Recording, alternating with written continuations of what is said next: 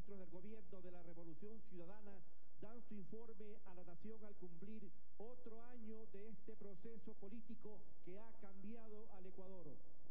Iniciamos este clase ciudadano con un resumen de las principales actividades que ha cumplido nuestro presidente Rafael Correa durante la última semana.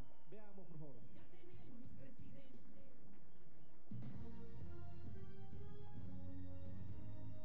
Actividades del presidente Rafael Correa Delgado. Sábado 16 de mayo.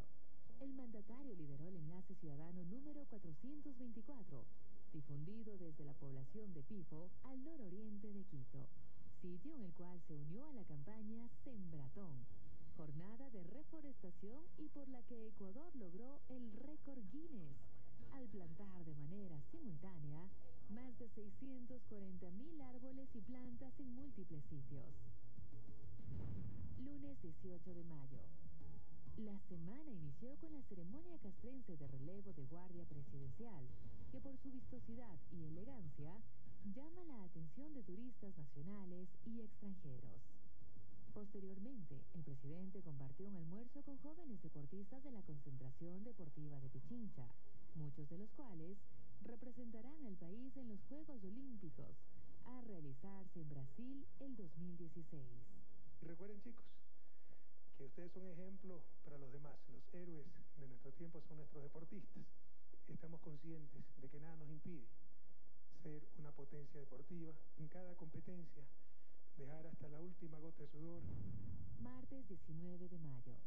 El jefe de Estado se trasladó a Guayaquil, donde sobrevoló y visitó los predios del Santuario de la Divina Misericordia, ubicado en el kilómetro 26 de la vía a la costa sitio en el cual se prevé que el Papa Francisco ofrezca una misa campal durante su visita al Ecuador.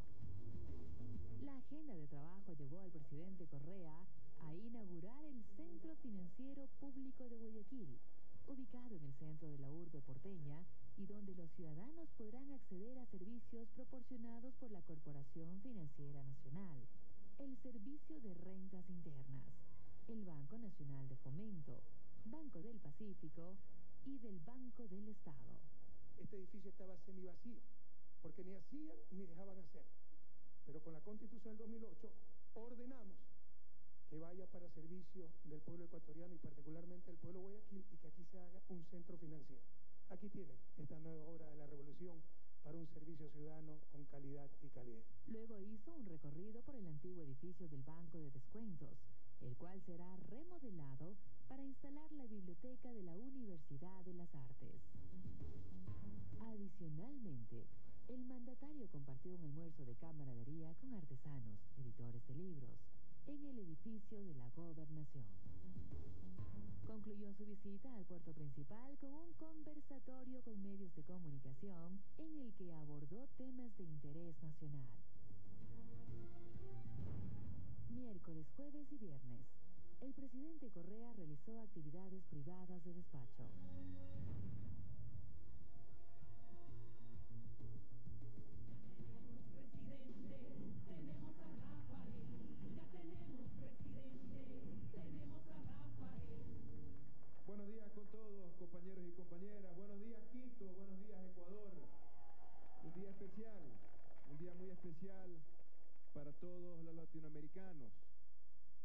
Especial. Justo en estos momentos, a las 10 de la mañana, empezaba la ceremonia de beatificación a la que está asistiendo nuestro compañero presidente quien por supuesto les manda un gran abrazo, el compañero Rafael Correa Delgado. Ya tenemos presidente.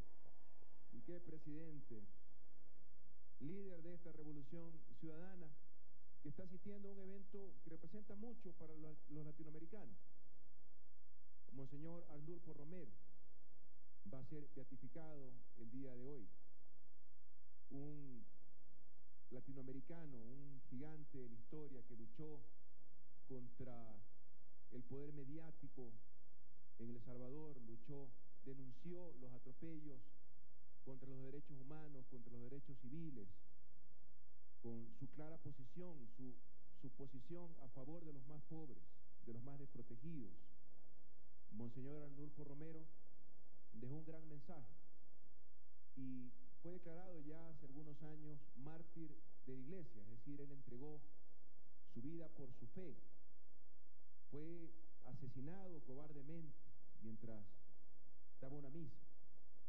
Vamos a empezar el enlace del día de hoy con un pequeño video que nos recuerda, nos trae, nos trae presente en este día tan importante de beatificación de Monseñor Arnulfo Romero. Por favor, adelante con el video, con eso empezamos el. Toda una vida dedicada al servicio y a la defensa de los derechos humanos y de los pobres.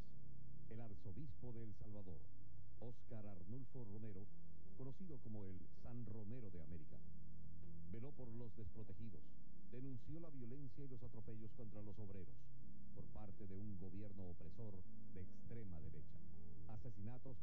por los escuadrones de la muerte y la desaparición forzada de personas hizo que Monseñor ponga la arquidiócesis al servicio de la justicia y la reconciliación de El Salvador. Recuerda Monseñor Ricardo Urioste, uno de los cercanos colaboradores. Fue la única voz que se escuchaba en ese tiempo de juicio y de crítica sobre lo que estaba ocurriendo en el país, con una suma pobreza, con gente que se organizaba para buscar mejores situaciones en su vida, se consideraban que eran también eh, marxistas y comunistas y políticos, y él salía en su defensa, y por eso digo yo que tuvo de parte de Dios la osadía de no callarse. Su constante lucha por dignificar la vida de los más pobres y sacar a flote la verdad llevó a Romero a denunciar también la relación entre la dictadura y los poderes fácticos entre ellos la prensa corrupta. Las homilías y escritos de Oscar Romero también dan fe de su cuestionamiento a los medios de comunicación que aupaba las injusticias y asesinatos de la extrema derecha. Esta era la voz de Monseñor Arnulfo Romero.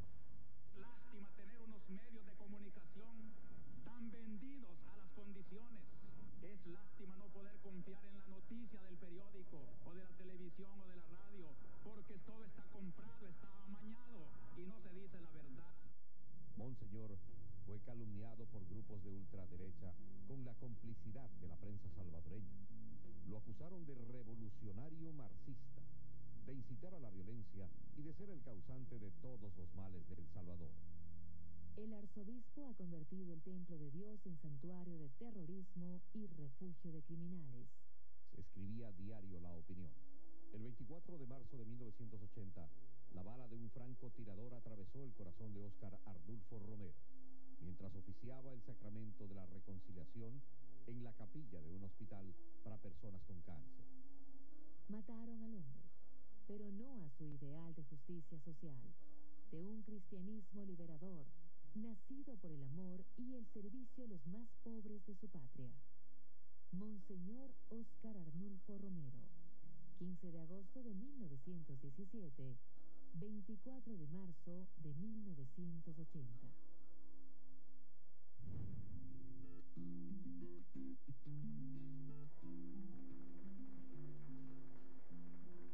Mártir de la iglesia, luchó por los pobres,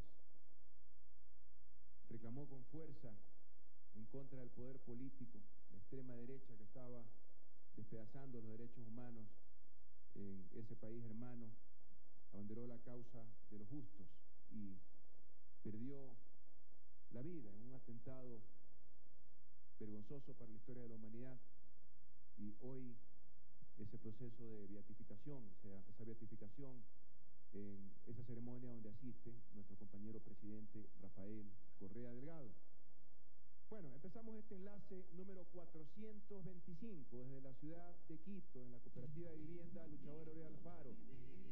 Bienvenidos a todos, qué gusto estar aquí en esta hermosa mañana soleada de la ciudad de Quito, Quito, mi hogar, mi hogar desde hace ya más de ocho años. 23 de mayo, un día antes, como dijo Arturo, de un aniversario más de la batalla del Pichincha y también el día en donde el presidente de la República, vicepresidente, eh, ministros de Estado, rendimos cuentas a la nación, como hacemos también en este enlace ciudadano con las actividades recientes y el día de hoy, por encargo del presidente, el vicepresidente de la República rinde cuentas de las actividades que como ya hemos acostumbrado por la periodicidad de los enlaces que tengo la oportunidad de dirigir informando a la ciudadanía, vamos a hacer un resumen de las actividades más relevantes de del último mes, de las últimas cuatro semanas. Quiero dar una, un agradecimiento y un saludo muy especial a Viviana González, que nos estaba deleitando con su voz. Muchas gracias, Viviana, eh, vocalista de Pueblo Nuevo.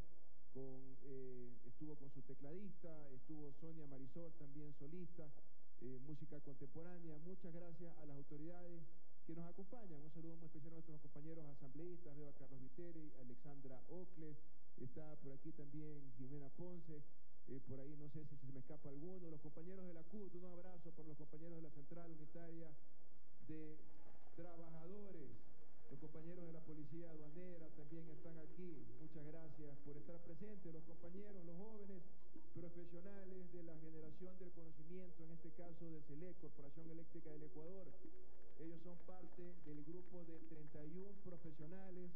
Aquí está eh, Sofía Guzmán, Daniel Cela, Giovanni Solís, David Galarza, Jairo Reynoso, Gabriel Constante, Humberto Estudillo, Belén Revelo, Antonio Basantes. Hace pocos días estuvimos teniendo un almuerzo de despedida porque ellos van a estar varias semanas afuera recibiendo capacitación especializada en varios sitios en la República Popular de China y específicamente también estarán en el proyecto hidroeléctrico más grande del mundo, el proyecto Tres Gargantas, capacitándose, son la generación del conocimiento dentro de las empresas públicas.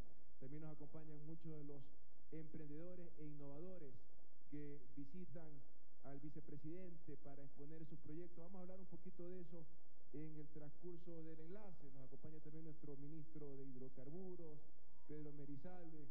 ¿Ha tenido barra, Pedro? ¿Cómo es la cosa?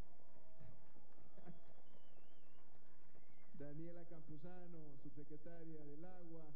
Eh, ¿Quién más está por aquí? Ah, gerente de Petroamazonas, de Osvaldo Madrid, Marco Calvo Piña, gerente de Petroecuador, la ministra del Ambiente. Un aplauso para la ministra del Ambiente. El siembratón fue un éxito.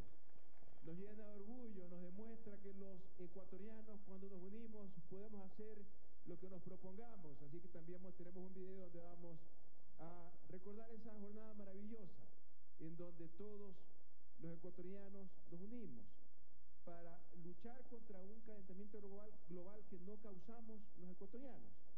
Recuerden que esta es una revolución ciudadana que piensa verde, que cuida el medio ambiente, pero con la cabeza, no con el estómago. Aquí los compañeros de la generación del conocimiento que trabajan también en la construcción o en la operación de hidroeléctricas saben que es posible producir más contaminando menos. Y lo vamos a ver también en el transcurso del enlace ciudadano. También tenemos, lo vi a José Luis Cortázar de la Agencia de Regulación y Control Hidrocarburífera, eh, Carlos Loaiza, administrador de la Corporación Nacional de Telecomunicaciones y demás funcionarios, Javier Quintanilla, viceministro de Sociedad de la Información del Ministerio de Telecomunicaciones. Está por aquí también Hernán Redín, invitado especial, desarrolladores de un auto eléctrico ecuatoriano. Eh, está Sheila César, un matrimonio joven que desarrolla en el proyecto Wife for Home, así se pronuncia, ¿no verdad? Un portero, lo vamos a ver en el enlace también. Y queridos compañeros y compañeras que he tenido la oportunidad de visitar sus hogares en el diálogo ciudadano. Estamos en un nuevo, ah, un saludo muy especial a los compañeros del Partido Socialista. Aquí se encuentra Ronald. ¿Dónde está Ronald? Por aquí lo vi. ¿Qué fue, compañero? Bienvenido parte del Frente Unidos. Gracias por venir a esta rendición de cuentas, este enlace ciudadano número 425, en este caso desde la caída de Dios, desde la mitad del mundo. Un fin de semana muy intenso. En la tarde estaremos también con el compañero Gustavo Baroja, también celebrando un día antes, el 24 de mayo, ya que el día de mañana estamos todos concentrados en el informe a la nación.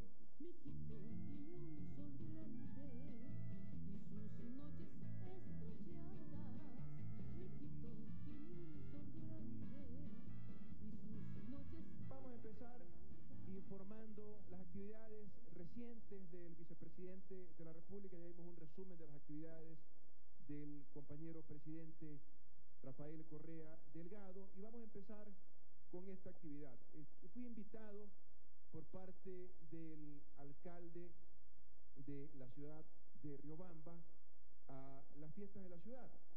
Me ha invitado a algunas actividades, pero lamentablemente no había podido asistir, entre ellas un concierto del grupo de rock Molotov, pero no pude ir a ese evento.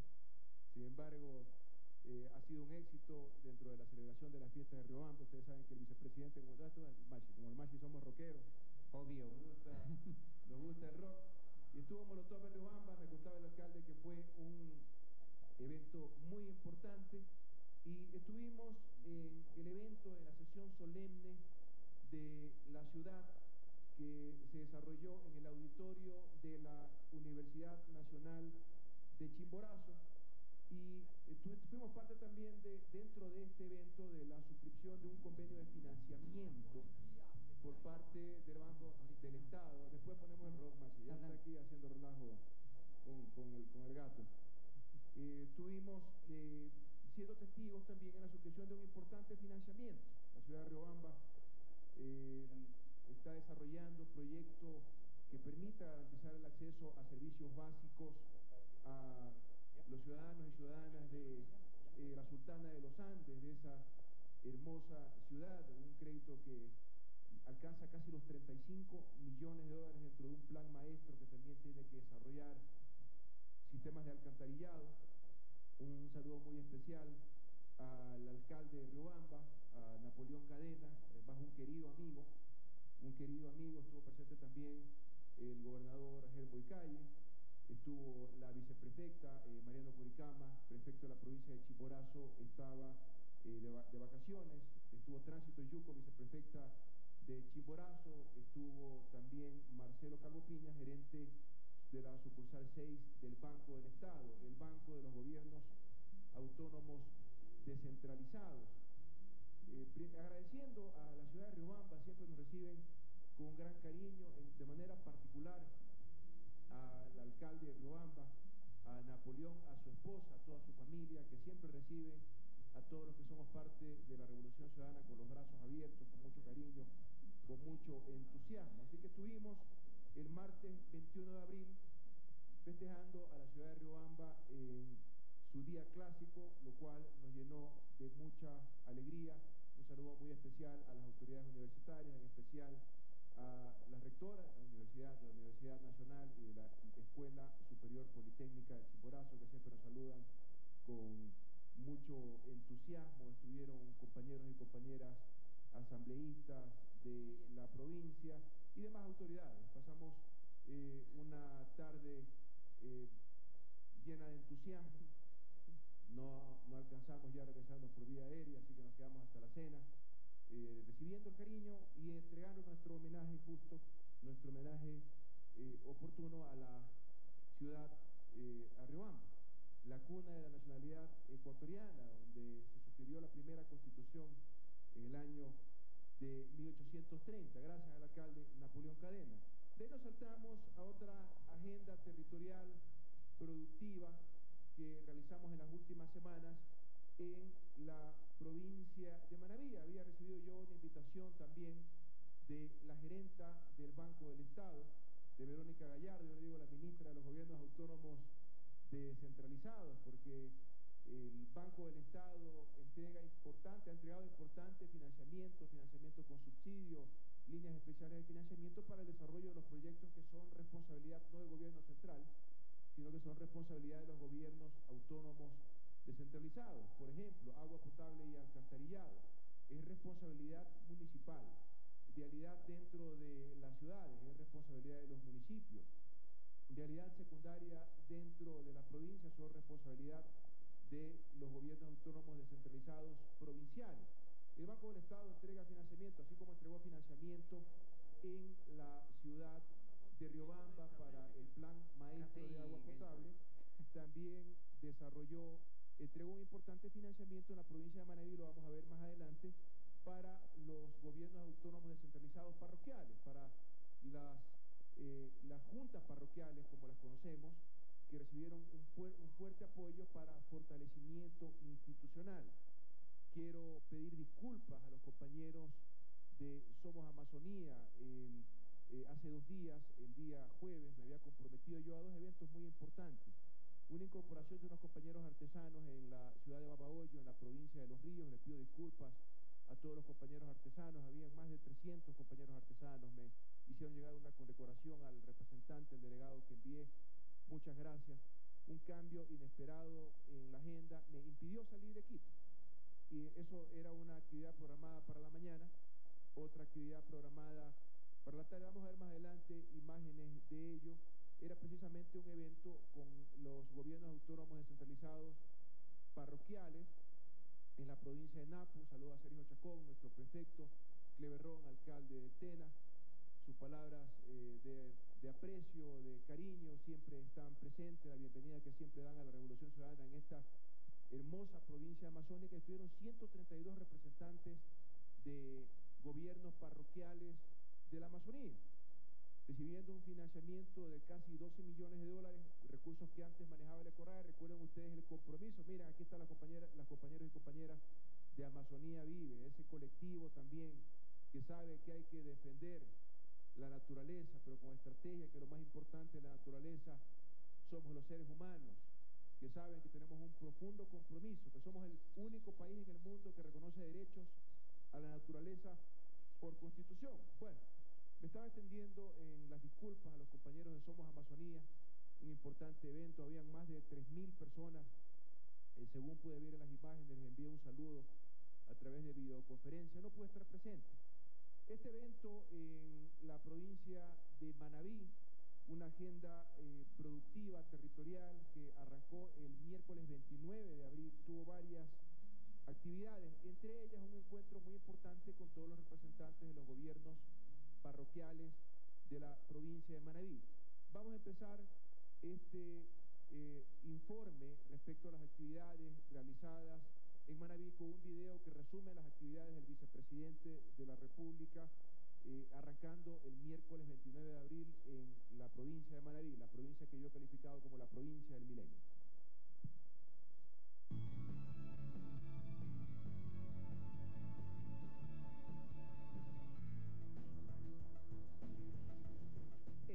El 29 y 30 de abril se desarrolló en la provincia de Manabí la agenda productiva del vicepresidente Jorge Glass, la cual comenzó con la visita al centro de acopio de achioteros de Manabí, donde conoció el proceso de producción del achiote y firmó un convenio para ejecutar acciones de regulación sanitaria que permita a los productores achioteros aumentar su competitividad. Ese fortalecimiento de la industria nacional ese fortalecimiento para privilegiar lo nuestro, orgullosamente ecuatoriano. Esas empresas que apuestan por producir más en el Ecuador, como la que nos acompaña el día de hoy, la Fabril, que es socia estratégica, así se califican la empresa y los compañeros agricultores. Eso es una buena noticia. Y también me dicen que ahora reciben casi el doble por quintal. Eso es una gran noticia gracias a la cadena productiva. Se reparte la riqueza, se distribuye entre todos los actores. Potenciar la calidad del achote para aumentar su competitividad y generar mayores fuentes de empleo. Este es un sueño, una gran empresa, porque tenemos la materia prima y tenemos los campos fértiles para poder cultivar en cantidad nuestro producto. Al mediodía, en Alejo Lascano, el vicepresidente fue testigo de honor en la firma de un crédito del BEDE por un millón de dólares, de los cuales el 60% son fondos no reembolsables, para financiar la actualización y estructuración de los planes de desarrollo y ordenamiento territorial de 51 juntas parroquiales de Manabí. Fortalecimiento de la planificación. Todo lo que ustedes ven lo podemos hacer gracias a que hemos planificado desde el inicio de la Revolución Ciudadana este momento. Cuando vemos toda la cadena de producción, y eso es parte de la estrategia nacional de agroindustria, con los productos agrícolas, darle valor agregado, darle procesamiento para que sea ya un producto de agroindustria, que genere mayor riqueza y que esa riqueza sea redistribuida entre todos los actores productivos. En Portoviejo, Glass fue parte de la firma del convenio entre el BEDE, el GAD municipal de Portoviejo y las juntas parroquiales para el desarrollo cantonal. El segundo día, el vicepresidente conversó con la prensa manavita en Radio Escándalo. Además, visitó la empresa de alimentos y limpieza La Fabril para constatar el fortalecimiento de la producción nacional. Glass resaltó su apoyo para el crecimiento de los pequeños productores de achoteros, quienes son sus socios estratégicos. Promover que los productos que consumimos en Ecuador sean fabricados en nuestro país, creo que es la dirección correcta. El Estado ha puesto siete años de estabilidad, ahora nos toca al sector privado también hacerlo, sustituyendo importaciones, productos de alimentos, especialmente de aceites y grasas. Los agricultores están contentos y ahorita la ganancia para nuestros hijos, para darle mejor educación no vivir del bono, vivir de la, de la agricultura.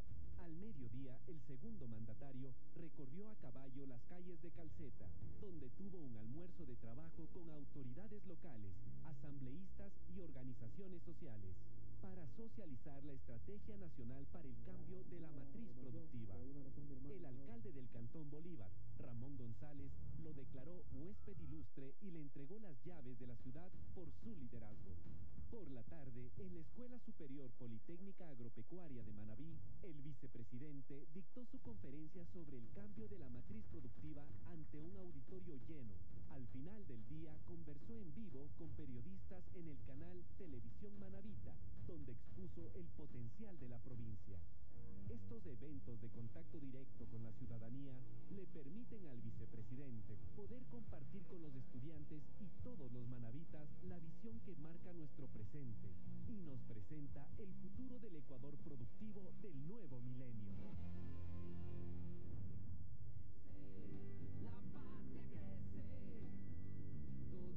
Cada vez nos quedan más cortas las visitas que hacemos a las provincias para dialogar, conocer, interiorizarnos con cada una de las fuerzas productivas y las cadenas productivas. Ustedes habrán notado que ya no hablamos de productos, ya no estamos hablando del achote, estamos hablando de la cadena productiva del achote. Y como ya ustedes saben que soy medio necio en estos temas, hablando de asociatividad, unidad, acción colectiva, yo creo que este es muy buen ejemplo y me voy a detener un poquito en este caso en particular, que no es un caso muy grande, pero es muy representativo. Miren cómo podemos conjugar reconversión productiva de la tierra. No basta sembrar. Tenemos que ser eficientes y productivos, sobre todo para los más jóvenes. Tenemos que hablar de producción y de eficiencia para poder llevar el Ecuador a este proceso de cambio de matriz productiva en este tránsito de la economía primario exportadora a la economía de las ideas, lo que se conoce como la economía del conocimiento, cuando tengamos tecnología propia, tecnología desarrollada por ecuatorianos, y aquí ya tenemos algunos invitados que han desarrollado tecnología ecuatoriana, ya podemos hablar orgullosamente de tecnología ecuatoriana y que está recibiendo apoyo de la Revolución Ciudadana. Pero me centro en este caso que es muy representativo, muy ilustrativo, sobre todo para los compañeros agricultores. Antes, en, en la provincia de Manaví, estábamos específicamente el 24 de mayo, en la parroquia Sicto Durán, había muchos potreros. Una acción colectiva, asociatividad, una asociación se unió, que ya producían achote en pequeñas cantidades, se unió para producir más. Recuerden ustedes el cambio de matriz productiva, producir más, producir mejor, producir cosas nuevas. Producir más. La reconversión de potreros, tierra relativamente improductiva, hacia un cultivo, no basta con cultivar. Hay que cultivar lo que genere mayor eficiencia, mayor productividad, mayor renta, mayor riqueza para los compañeros agricultores. Así que hubo una reconversión del uso de la tierra, de potreros a plantación de achote. Recibieron apoyo del Ministerio de Agricultura, de la Prefectura de Manabí, también del municipio, una inversión aproximadamente de 400 19 mil dólares entre todos estos actores, también parte de recursos de la Asociación Apoyo de la Banca Pública del Banco de Fomento. Y estos compañeros tienen su centro acopio, que ya es un pequeño agrocentro, porque no solamente sirve para almacenar, también existe la planta de secado, que no solamente sirve para chote, puede servir para otros productos que también se cultivan y se cosechan en la zona. Todo esto se ha conseguido con asociatividad. ¿Qué nos da la asociatividad? La suficiente economía de escala para que este tipo de inversiones sea viable. Ahora tienen la tecnología para garantizar a la siguiente fase de la cadena productiva, la siguiente etapa del proceso productivo, la calidad que requiere en este caso la empresa procesadora, en este caso en particular una empresa Manavito también, que ahora cuando va a comprar el achote verifica que tenga la limpieza, que tenga la humedad adecuada y ahora por ese mismo quintal de achote, recuerden que antes había potreros, ahora se cultiva achote, ahora se produce más por hectárea y de hecho todavía están planteando, de hecho ya en la siguiente cosecha van a haber duplicado la productividad por hectárea. Y como se han asociado con calidad con la siguiente fase de la cadena productiva, la industrialización, la agroindustria, industrializar lo que viene del campo, del sector agrícola, resulta que ellos ahora cobran el doble por el saco de achote. Producen el doble y cobran el doble, porque se han asociado con una industria que procesa estos productos. Es impresionante cómo hasta los más pequeños productores, con qué orgullo que me contaban, miren, nos unimos, hacemos lo que usted dice. Nos hemos unido, tenemos nuestra asociación, hemos recibido financiamiento, ahora producimos el doble. Cobramos el doble por el mismo saco de achote porque garantizo calidad. Mire, y me mostraba con qué orgullo el equipo que medía la humedad, la máquina de ensacado, la planta de secado. Pero ahora tenemos un problema, dice el vicepresidente. Como vamos a seguir aumentando producción y todos estamos entusiasmados, la fábrica no va a alcanzar a comprar todo. Me tiene que ayudar a exportar, a exportar al chote, con todo gusto. O ayúdeme a hacer pasta de chote, es decir, una fase más en la cadena productiva. ¿Qué ganamos con esto?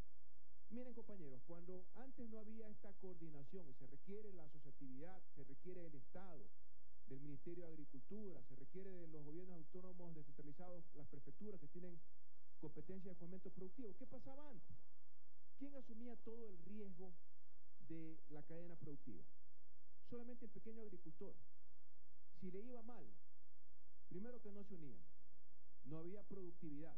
Recuerden, producir más, producir mejor, producir cosas nuevas, producir más, producir más por hectárea, producir mejor, hacerlo con calidad, entregar el producto en la calidad adecuada, producir cosas nuevas. Eso va desde la industrialización a la innovación, hasta la innovación y la tecnología, en este caso industrialización, agroindustria, industrialización de un producto agrícola. Entonces ellos se unieron, reconvertieron el uso de la tierra para su uso más eficiente. El socialismo moderno no puede dejar de hablar de eficiencia. Es la única forma de crear más riqueza para que pueda ser naturalmente redistribuida. Aquí en Ecuador hemos demostrado, y mañana en el informe de la Nación veremos cifras muy contundentes en el informe de nuestro compañero presidente, de cómo el Ecuador le demuestra al mundo que se puede generar más riqueza con redistribución y por eso ha reducido radicalmente la pobreza en todos los niveles aquí en el Ecuador y hemos generado más empleo.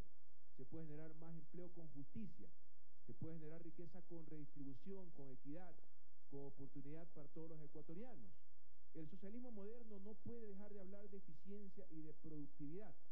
Y estos compañeros, pequeñas fuerzas productivas, se han unido para producir más. Se han tecnificado y mecanizado para producir mejor.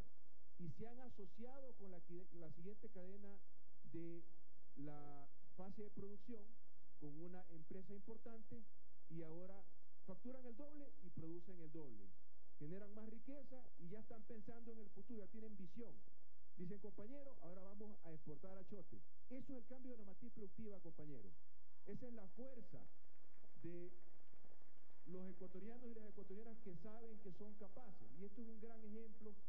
Yo felicito a todos los compañeros de, de Durán, específicamente en Mocora Grande, a su alcalde, a los compañeros del gobierno parroquial y a los compañeros de la asociación, porque están demostrando que sí es posible alcanzar esa productividad necesaria, que es la que va a generar más riqueza para ellos mismos, para que no exista migración del campo a la ciudad. Esta fue una actividad muy importante en la provincia de Manabí, en el cantón 24 eh, de mayo. Luego nos fuimos a, a, un cantón cercano, a otra parroquia rural. Estuvimos en Paján, específicamente estuvimos en Alejo Lascano, donde también fuimos recibidos por el alcalde de, de, Paján, un agradecimiento al compañero Galo Borbor, que nos recibió con mucho entusiasmo. Teníamos otro importante evento. Estaban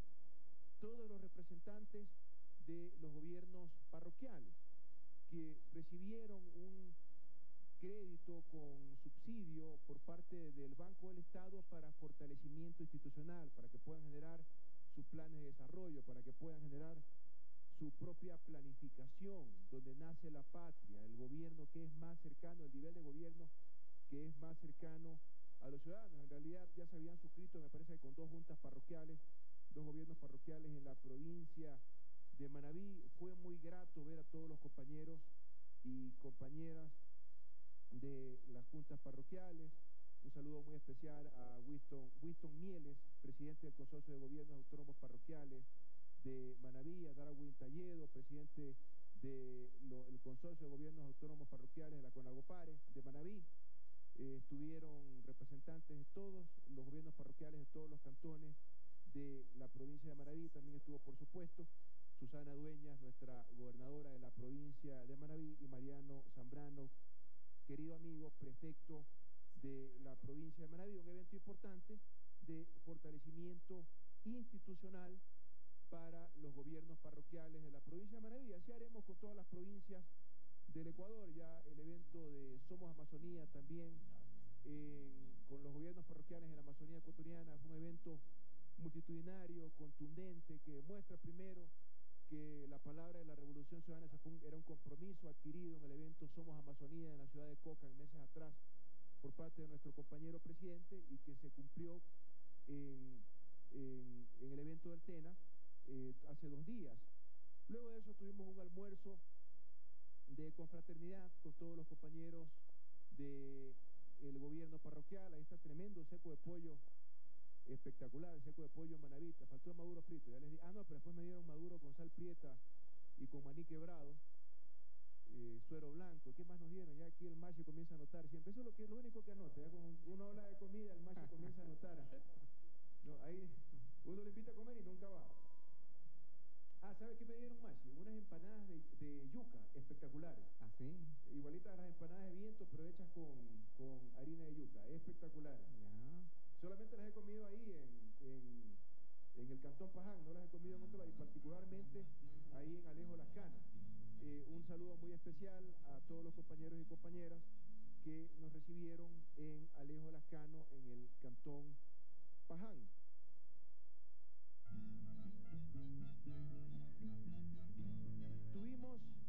Muy importante, nos regresamos a Puerto Viejo.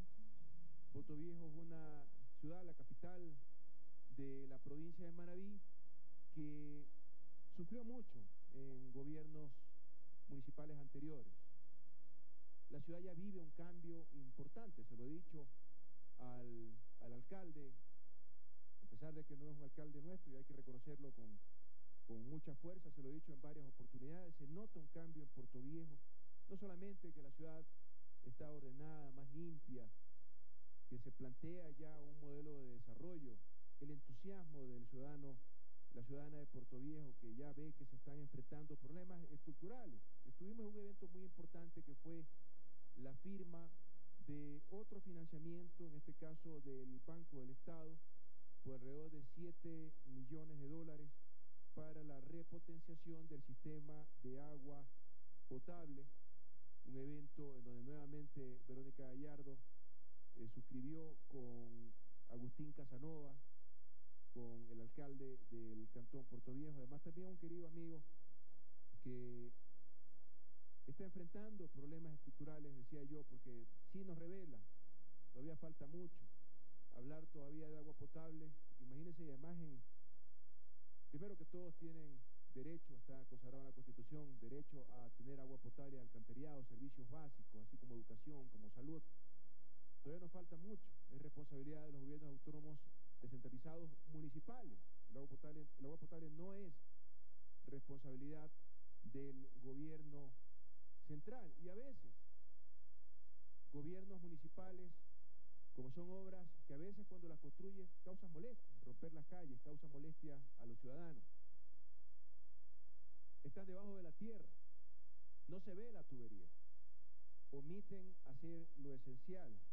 Agustín Casanova está enfrentando el desafío, la responsabilidad, el deber de dar agua potable a todos los ciudadanos y ciudadanas de Puerto Viejo y ha recibido un importante financiamiento del Banco del Estado. A veces lo más trascendente en estas reuniones, en estos encuentros, no es el evento en sí mismo.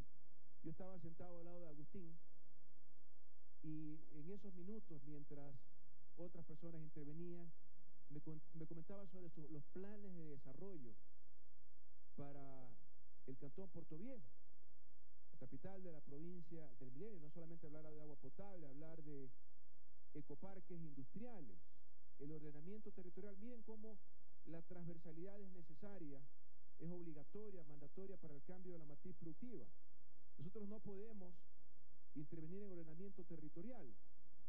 Es responsabilidad de los municipios definir el ordenamiento territorial para las actividades productivas, para todas las actividades y también incluyendo las actividades productivas, la planificación de un e-, ecoparque industrial, de polos de desarrollo de servicios. Él está desarrollando un enfoque muy fuerte hacia servicios de salud, hacia servicios médicos, la intervención que se va a realizar en lo que era antes el antiguo aeropuerto de Puerto Viejo, con importante, va a ser un importante parque centro de desarrollo y donde pueda haber también un centro de servicios muy importante. A veces lo más importante no es el evento en sí mismo, es lo que podemos conversar, lo que podemos compartir en, el momento de, de, esta, de esta, en este caso de la firma de este convenio de financiamiento. Me parece que tenemos también un pequeño byte con las palabras de Verónica Gallardo, palabras de Agustín Casanova, alcalde del Cantón Puerto Viejo. Y le dio un mensaje muy,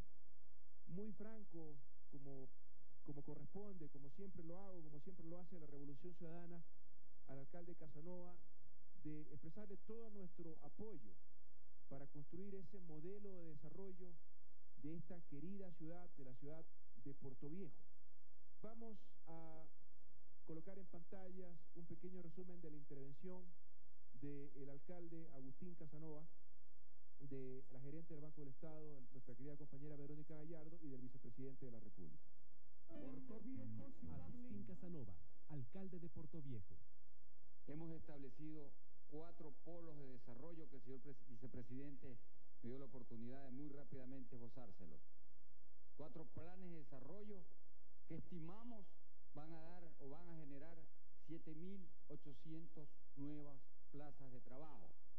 Verónica Gallardo, gerente general del Banco del Estado.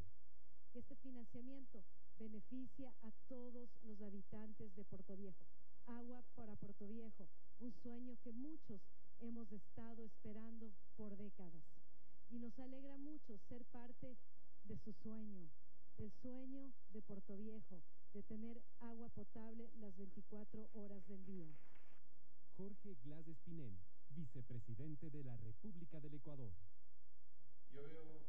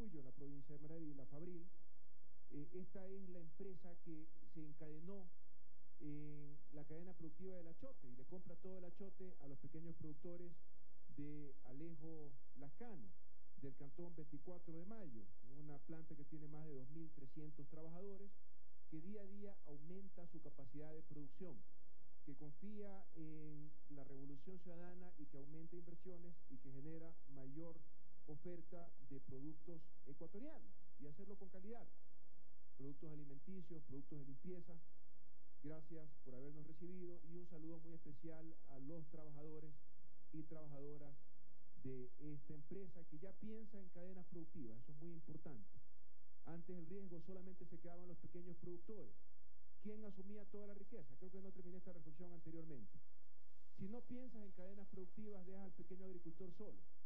Si le va mal al pequeño agricultor, asume todas las pérdidas. Cuando le va bien, si no está asociado, no tiene economía de escala. Si le va bien, no recibe el precio justo por parte de siguiente, eh, la siguiente fase de la cadena productiva. Si no está asociado, depende de los intermediarios. Si no tiene suficiente economía de escala, no es viable poner un centro acopio y un pequeño agrocentro. Cuando se unen, tienen economías de escala, tienen su centro de acopio, ya no dependen de los intermediarios y venden directamente a la siguiente fase de la cadena productiva. Cobra más por su producto. Con asociatividad produce más. Y la riqueza se reparte en todos los actores de la cadena. Antes la riqueza, o se, la ganancia, dicho en términos sencillos, o se concentraba en la fase final, el que nos hacía el producto para venderlos a nosotros, o en el intermediario. Ahora la cadena, la riqueza se distribuye en toda la cadena productiva y eso es importante, por eso es importante pensar en cadenas productivas y no en productos de forma aislada. Así que quisimos visitar también, constatar las inversiones que realizan estas empresas ecuatorianas y también conocer cuál es la siguiente fase de la cadena productiva y cómo se había alcanzado con una coordinación estrecha de gobierno central, gobiernos autónomos descentralizados como la prefectura, pequeños productores, asociaciones y, eh, y la industria que industrializa este tipo de productos, cómo se genera riqueza para todos los actores en la cadena productiva, en este caso del achote. Luego estuvimos un almuerzo, eh, siempre trato en estas agendas territoriales, cuando son de más de un día, tener un almuerzo con jóvenes de la provincia, con, eh, con fuerzas productivas de la provincia y esto lo hicimos en un encuentro en la eh, ciudad de Calceta, eh, un cantón muy querido también eh, de la provincia de Manabí, donde tuvimos un rápido, un rápido encuentro con todas las fuerzas productivas, estaban los compañeros representantes, productores de café, de cacao, de camarón, identificando dificultades. ¿no? Créanme que estos son almuerzos de trabajo, nuestra gratitud, mi gratitud personal a Ramón González, alcalde del cantón, que tuvo la enorme gentileza de una visita tan corta en el cantón Calceta, entregarme las llaves de la ciudad, Dios le pague, muchas gracias, mi compromiso para con todas y todas, en particular con eh, los compañeros de Calceta, estuvo también Lidia Larrea, nuestra asambleísta por la provincia de Maraví, ella es de Calceta, Lady Muñoz Concejal, una delegación de 40 estudiantes de la Escuela Politécnica Agrícola de Maraví. Ya hicimos una importante visita y me quedé comprometido en volver a esta universidad. Pero bueno, estuvimos en el restaurante em, de los eh, Cipriano 2, perdón, me perdí un instante. Un saludo a Jady Carranza Mejía y Julio Basurto que nos recibieron con gran cariño. No recuerdo el menú del, del almuerzo, pero en todo caso tuvimos oportunidad de conversar con pequeños productores, cacauteros, cafetaleros, camaroneros, mucha asociatividad, mucha acción colectiva. Aquí me pusieron el nuevamente seco de gallina. Todo el mundo sabe que me gusta el seco de gallina, me dan seco de gallina. Aquí sí había maduro frito, un maní quebrado, caldo de gallina. ¿no? una intervención musical muy emotiva a cargo de Piloso. ¿no? Y estuvimos trabajando con también pequeños productores, cañicultores. hay, mucho, hay una industria de dulces tradicionales en calceta, lo hay también en chones, artesanos. Eh, en fin, un saludo muy especial a todos los ciudadanos y ciudadanas de Calceta. Muchas gracias a ese sombrero que, que vieron ustedes que tenía puesto. Es un regalo también de los compañeros y compañeras de Calceta. Siempre me recibieron con los brazos abiertos. Me pidieron que apenas tenga la oportunidad de informar a la ciudadanía acerca de esta visita, garantice que había llevado los dulces a mi esposa. Sí los entregué, los llevé a la casa, se los entregué y sí se los comió a mi esposa. Así que cumplo con informar de acuerdo que me había comprometido. Luego nos trasladamos a la Escuela Politécnica de Agricultura en Calceta, de Manaví, Escuela Politécnica de Agricultura de Manaví. Yo tenía mucho entusiasmo de presentar la estrategia de cambio de matriz productiva a los estudiantes de esta universidad, que además estaba de aniversario. Muchas gracias a sus autoridades y a todos los estudiantes por la forma en la que nos recibieron. El coliseo estaba prácticamente lleno. Ahí vemos eh, la intervención de la rectora, estuvo Miriam Félix recibiéndonos eh, desde que llegamos a la universidad. Eh, Lorena Carreño, vicerrectora, estuvo también Marjorie Zamora, vicerrectora de Extensión y Bienestar, Janet Villafuerte, secretaria general, nuestra gobernadora Susana Dueña, el prefecto de la provincia de Manaví, Mariano Zambrano. ¿Por qué? Porque dentro de estas estrategias, dentro de los ejes de trabajo de la estrategia de cambio de matriz productiva, ustedes saben, están las industrias industrializantes o las industrias básicas, el fortalecimiento de la producción nacional, industrias intermedias, fortalecer lo nuestro, producir más, producir con calidad. Y está el eje de producir cosas nuevas, innovación, tecnología. Y la estrategia de agroindustria. La estrategia de agroindustria, cómo generar más riqueza con los productos agrícolas, con una gran ventaja. Ya lo he dicho esto anteriormente. Cuando tenemos industrias básicas como, por ejemplo, la siderúrgica, la materia prima no la tenemos los ecuatorianos, al menos por el momento. Tenemos que importar materia prima y aparte del trabajo que se genera, los encadenamientos productivos que generan estas grandes industrias, tenemos que calcular cuánto dinero se queda en el Ecuador. Recuerden que tenemos una economía dolarizada. ¿Cuántos dólares salen? ¿Por qué salen los dólares? Porque estoy comprando materia prima. ¿Por qué entran dólares? Cuando estoy exportando o los dólares que se quedan en la economía ecuatoriana porque dejo de exportar. Esa es la balanza comercial, la diferencia entre dólares que salen y dólares que entran. Por eso es muy importante evaluar la balanza comercial también en los ejes del cambio de la matriz productiva. Y resulta que en agroindustria, como los productos, la materia prima salen de trabajar nuestra tierra, no tenemos que importarlos, genera mucha más riqueza la agroindustria que la misma estrategia de industrias industrializantes. El tema es que las, grandes industrias generan ecosistemas de innovación, pasos hacia la industrialización del buen vivir, dejar de ser dependientes de productos primarios. Pero tenemos esta escuela politécnica en Manaví que tiene más de 2.000 estudiantes y tenía como 600 o 700 estudiantes en nivelación y que tiene un fuerte compromiso por trabajar en crear profesionales capacitados en diversas carreras y principalmente en agroindustria, aunque también tenían ingenieros en sistemas. Concluimos la visita de Maraví con un conversatorio con periodistas en Televisión Manavita, algunos canales locales se enlazaron también a esta entrevista. Muchas gracias a Malena Cardona, entrevistadora de Televisión Manavita, y a Luis Andrade, entrevistador de Capital TV, que fue parte del panel de entrevistadores. Luego de esta visita en Manaví, nos trasladaremos al 5 de mayo, Santa Elena, península de Santa Elena, Nobel Provincia.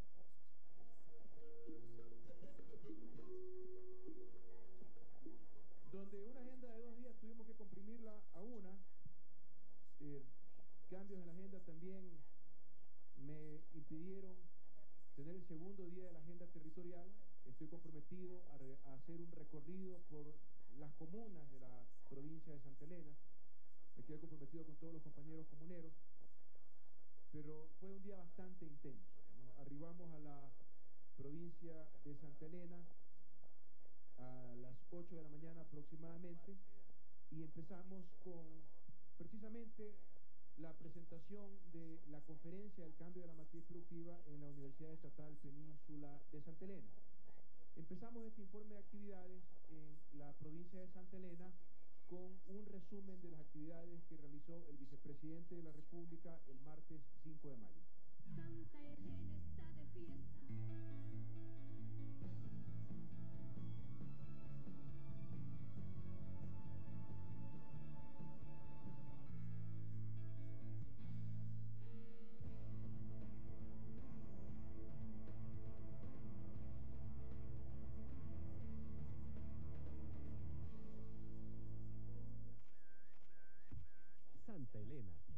Última provincia en ser creada, ha recorrido un camino fructífero que la proyecta como un eje del desarrollo pesquero y turístico de la costa ecuatoriana.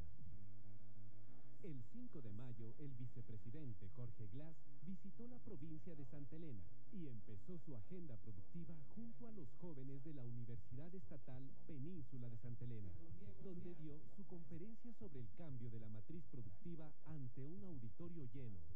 Al final, respondió las preguntas de los participantes. Llegó el momento de cambiar radicalmente el tejido productivo del Ecuador, la forma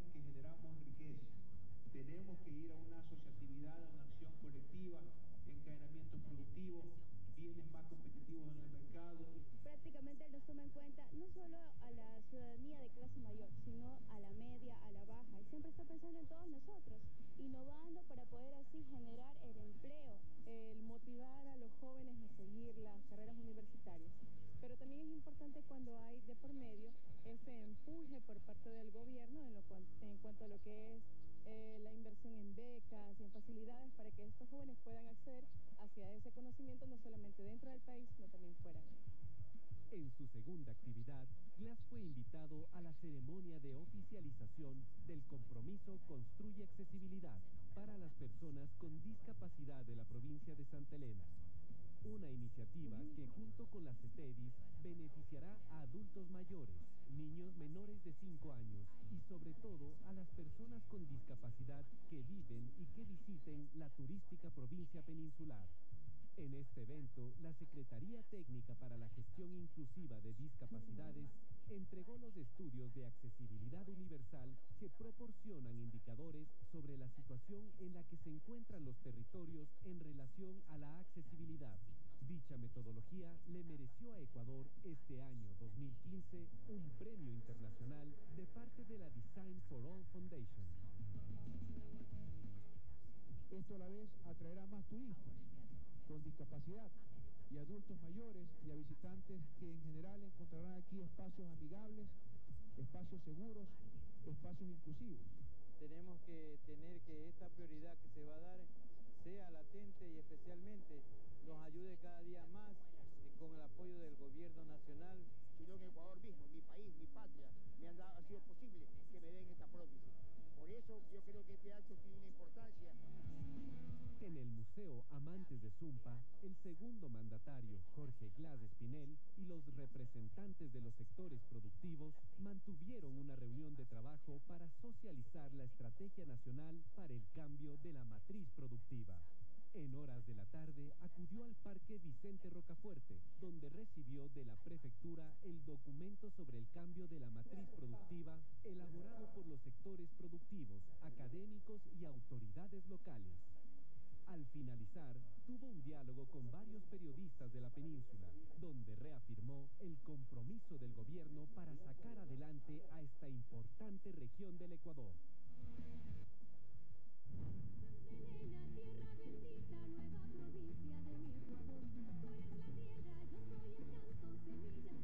Un saludo a todos los ciudadanos y ciudadanas de esta querida provincia. Eh, un saludo particular Patricio Cisneros, prefecto de la provincia de Santa Elena. La conferencia en la universidad eh, fue maravillosa. Habían más de 2.000 eh, personas eh, en este evento. eh, además interactuando. Miren, cada vez que yo tengo la oportunidad de dirigirme sobre todo a los estudiantes, al cuerpo docente, en los centros de educación superior, estoy haciendo una versión para tratar de llevar este mensaje a estudiantes de los últimos años de bachillerato, de cuando ya están concluyendo el colegio. Recuerden que el cambio de la matriz productiva no se decreta, se suscita. Cuando yo escucho, y vamos a ver más adelante el almuerzo con las fuerzas productivas de la provincia, había una compañera de dos mangas, una comuna en la, pro- en la provincia de Santa Elena, el cantón Santa Elena, que era una persona que tenía más de, más de 60 años, que se dedicaba a la paja toquilla, y me decía, vicepresidente, yo quiero hacer lo que usted dice, yo quiero agregar valor, quiero que haya una marca que diga que esto es hecho en Santa Elena, que lo hicimos nosotros, y que eso tenga un mejor precio para que nosotros ganemos más, más, más dinero, más recursos.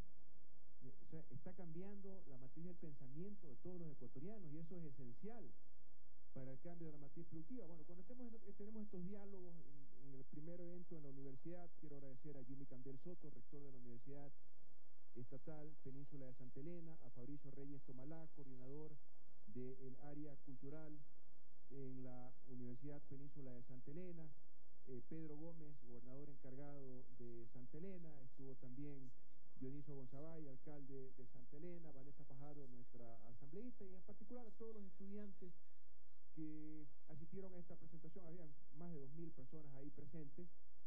Me quedé comprometido, así de la misma manera, no pude hacer un recorrido en la Escuela Politécnica Agropecuaria de Manaví en Calceta, me he comprometido a volver lo más pronto posible para recorrer las instalaciones universitarias y ver cómo podemos fortalecer la, eh, la- la- la infraestructura, los laboratorios, los programas de innovación en el área agrícola y agroindustria, de la misma manera que he comprometido, me quedé comprometido con la Universidad eh, Estatal Península de Santa Elena en regresar lo más pronto posible. El segundo evento en la península de Santa Elena, en el Coliseo del Colegio Rubira, fue muy representativo. Voy a explicarlo un poco más en detalle. Gustavo Gilera está aquí presente, que esté listo para darnos un poquito más de explicación respecto a este tema. Recuerden que cuando asumí la vicepresidencia de la República, luego de esa extraordinaria gestión de nuestro querido amigo y compañero Lenín Moreno Garcés, la misión solidaria Manuel Espejo, un compromiso de, como gobierno, como revolución ciudadana, de que la visión continúa, de que la inclusión para los discapacitados continúa. Y hay más de 85 mil ciudadanos y ciudadanas con discapacidad que están laborando, que son parte de la fuerza laboral en el Ecuador, gracias a las políticas de la revolución ciudadana. Ahora la Secretaría Técnica de Discapacidades, adscrita, que es parte de la Vicepresidencia de la República, lleva la inclusión a siguientes niveles, a nuevos niveles de inclusión para ciudadanos y ciudadanas con discapacidad. Ejemplo, el programa de entrega de financiamiento de créditos para ciudadanos con discapacidad o para sus familias, dependiendo del caso, para que puedan financiar sus emprendimientos, tengan un crédito en condiciones especiales para que puedan financiar su emprendimiento. Esto ha sido un programa exitoso. Otro otro eje de acción de la Secretaría Técnica de Discapacidades es precisamente desarrollar los estudios, los proyectos, los programas para llegar a la accesibilidad universal. Y se decidió iniciar en tres provincias, en la provincia de Santa Elena, en la provincia de Pastaza y en la provincia de Imbabura. Y el primer evento quise estar presente en la provincia de la península de Santa Elena, en donde ya hubo ese pacto, ese acuerdo con las autoridades locales para crear ciudades que sean 100% eh, accesibles para los ciudadanos con discapacidad y particularmente la península de Santa Elena, que tiene un enorme potencial turístico, como ustedes conocen, fue la primera provincia donde realizamos este evento, de, esta entrega, este diagnóstico, este programa, que se ha trabajado por meses con los alcaldes de La Libertad, de Santa Elena y de Salinas. Así que quisiera primero que pasemos eh, el video con la intervención de Alex Camacho, nuestro secretario técnico de discapacidad. Él no pudo venir al enlace del día de hoy, me llamó temprano en la mañana, su señor padre ha tenido un quebranto serio en su salud y él no puede estar presente, pero nos acompaña Gustavo Giler, eh, su subsecretario. Primero adelante con el video de este evento que creo que es muy importante, representa mucho, nos demuestra que esta política, que ya es política de Estado, de atención a los ciudadanos con discapacidad, que tuvo una primera etapa desde visibilizarlos, la ciudadanía miraba de lado, era como un problema que no existía, en la entrega de ayudas técnicas, la inclusión laboral de ciudadanos con, eh, de ciudadanos con discapacidad, entregas de viviendas, ahora la inclusión productiva, la inclusión educativa y ahora la accesibilidad universal. Es por eso que la política de la Revolución Ciudadana, que ahora es una política de Estado, hace que esté siendo replicada alrededor del mundo como un caso exitoso, quizás el más exitoso del mundo, de atención e inclusión, no solamente atención, a personas con discapacidad. Adelante con el video. Secretario Técnico de Discapacidades. Cuando escuchamos accesibilidad universal, pensamos que nos referimos únicamente a rampas o que se trata solamente de personas con discapacidad y personas con discapacidad física. Y además, para aquellos tomadores de decisiones que la implementación es tremendamente costosa. La accesibilidad universal son todas las condiciones que deben cumplir servicios, entornos, condiciones comprensibles, utilizables y practicables por todas las personas. Y cuando me refiero a todas las personas, me refiero a los 16 millones de ecuatorianos y ecuatorianas. Dionisio Gonzabay, alcalde de Santa Elena. ¿Cómo no resaltar esta nueva iniciativa, accesibilidad para todos, emprendido por la vicepresidencia? Hoy vemos una vicepresidencia que en este gobierno que ejecuta y se preocupa sobre todo por los sectores más vulnerables del país. Yo quiero ratificar el compromiso del gobierno local de Santa Elena en unirnos a este nuevo desafío en cuanto al gobierno autónomo descentralizado, tomar muy en cuenta en ser parte de construyamos accesibilidad no solamente en Santa Elena, sino en todo el país. país. Espinel, vicepresidente de la República del Ecuador. Se crearán espacios adaptados según las normas del Instituto de Normalización a los grupos prioritarios de atención, entre ellos a miles de ecuatorianos con discapacidad que viven en esta provincia. Esta provincia abre además excelentes perspectivas económicas y productivas para los ciudadanos. Los gobiernos autónomos descentralizados obtendrán importantes recursos, ingresos, por las adecuaciones arquitectónicas derivadas de la accesibilidad universal. Esto a la vez atraerá más turistas con discapacidad y adultos mayores y a visitantes que en general encontrarán aquí espacios amigables, espacios seguros, espacios inclusivos. El resultado será muy claro.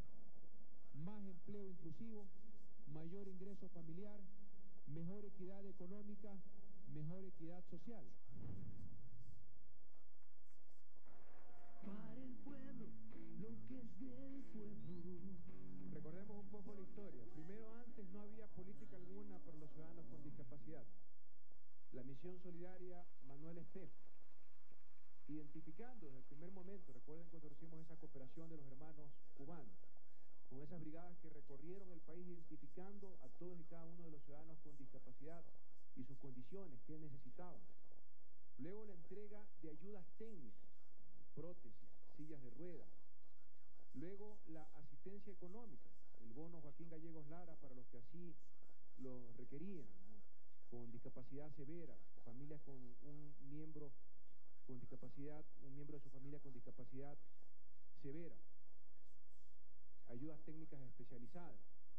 Luego, la inclusión productiva. ¿Cómo? Mediante regulaciones, leyes que se cumplen. Aquí en Ecuador se cumplen las leyes.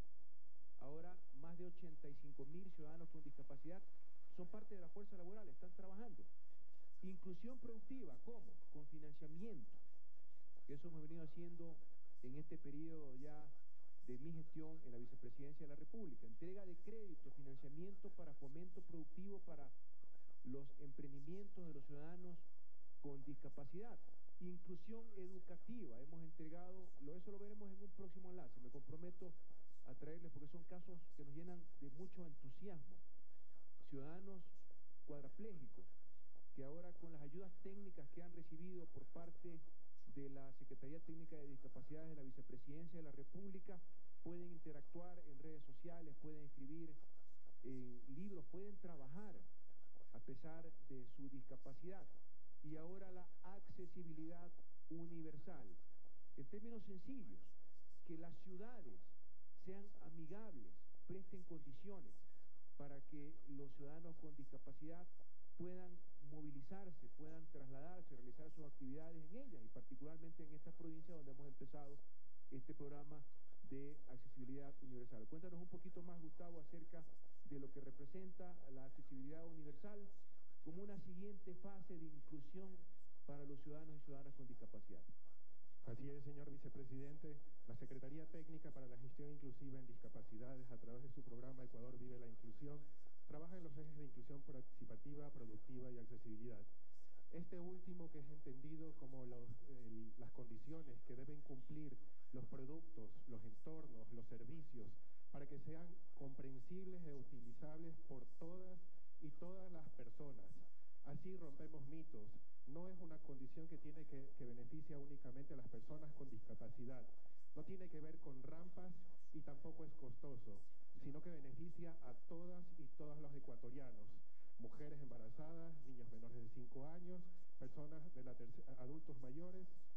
Así que vemos a la accesibilidad como el puente para trabajar, para pasar de esa teoría a la práctica, para pasar de la ley orgánica a una sociedad inclusiva, a través de la generación del conocimiento en, tecnologías de la información y la comunicación, herramientas y otros temas en particular. Algunos logros tenemos ya en este tema. El 80% de la normativa INEN ha sido ya adaptada para que cumpla con los estándares internacionales de accesibilidad universal. 600 funcionarios públicos y privados han sido capacitados sobre este tema.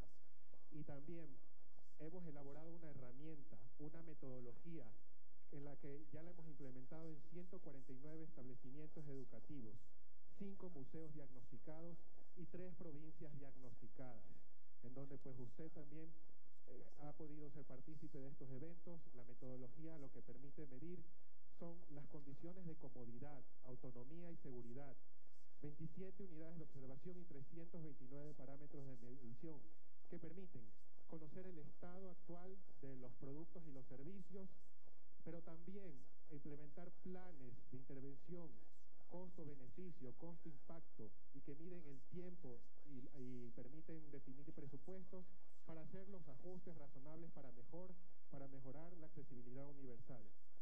Nosotros, pues también esta metodología permite medir en, en los niveles de alto, bajo o medio, en función de, la, de todos estos parámetros que se evalúan, así como de los tipos, de los diferentes tipos de discapacidad que existen y que se evalúan. Así, señor vicepresidente, pues usted fue partícipe del compromiso Construye Accesibilidad que lanzamos en la provincia de Santa Elena, donde pudimos pues eh, mencionar que el 47% de las eh, unidades que se observaron en estas tres provincias eh, cumplen con condiciones de accesibilidad, es decir, aún tenemos un nivel bajo. Pero ahí se comprometieron los alcaldes, ahí ya se comprometieron para dar cumplimiento a ese 10% que la ley les, les obliga pues a asignar a los grupos de atención prioritaria. La CETEDIS y la Vicepresidencia de la República darán toda la asesoría técnica mientras los, los gobiernos autónomos descentralizados se comprometieron ya formalmente, suscribieron y ratificaron el compromiso Construye Accesibilidad para que a partir de este momento todas sus obras de infraestructuras, ordenanzas y, y, la, las capacitaciones tengan incluido el componente de accesibilidad universal. Muchas gracias. Ya es de todos.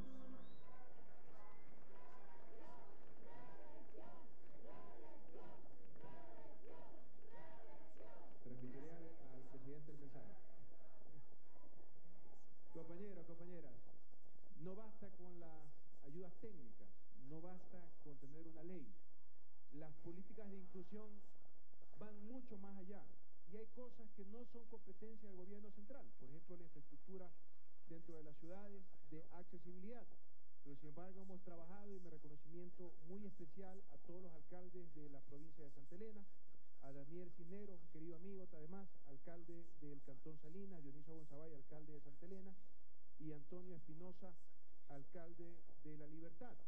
Porque ellos han asumido un firme compromiso, han estado trabajando por muchos meses con la Secretaría Técnica de Discapacidades de la Vicepresidencia de la República para dar este paso hacia la accesibilidad, que además va a generar más oportunidades de desarrollo para la misma provincia, por la naturaleza de la oferta turística que tiene, dar condiciones para que ciudadanos con discapacidad ecuatorianos o de afuera del Ecuador, hay un gran flujo de turistas a la provincia de Santa Elena por su belleza, por sus playas, por la calidad de su gente, por su gastronomía, va a generar también eh, mayor condición para mayor turismo.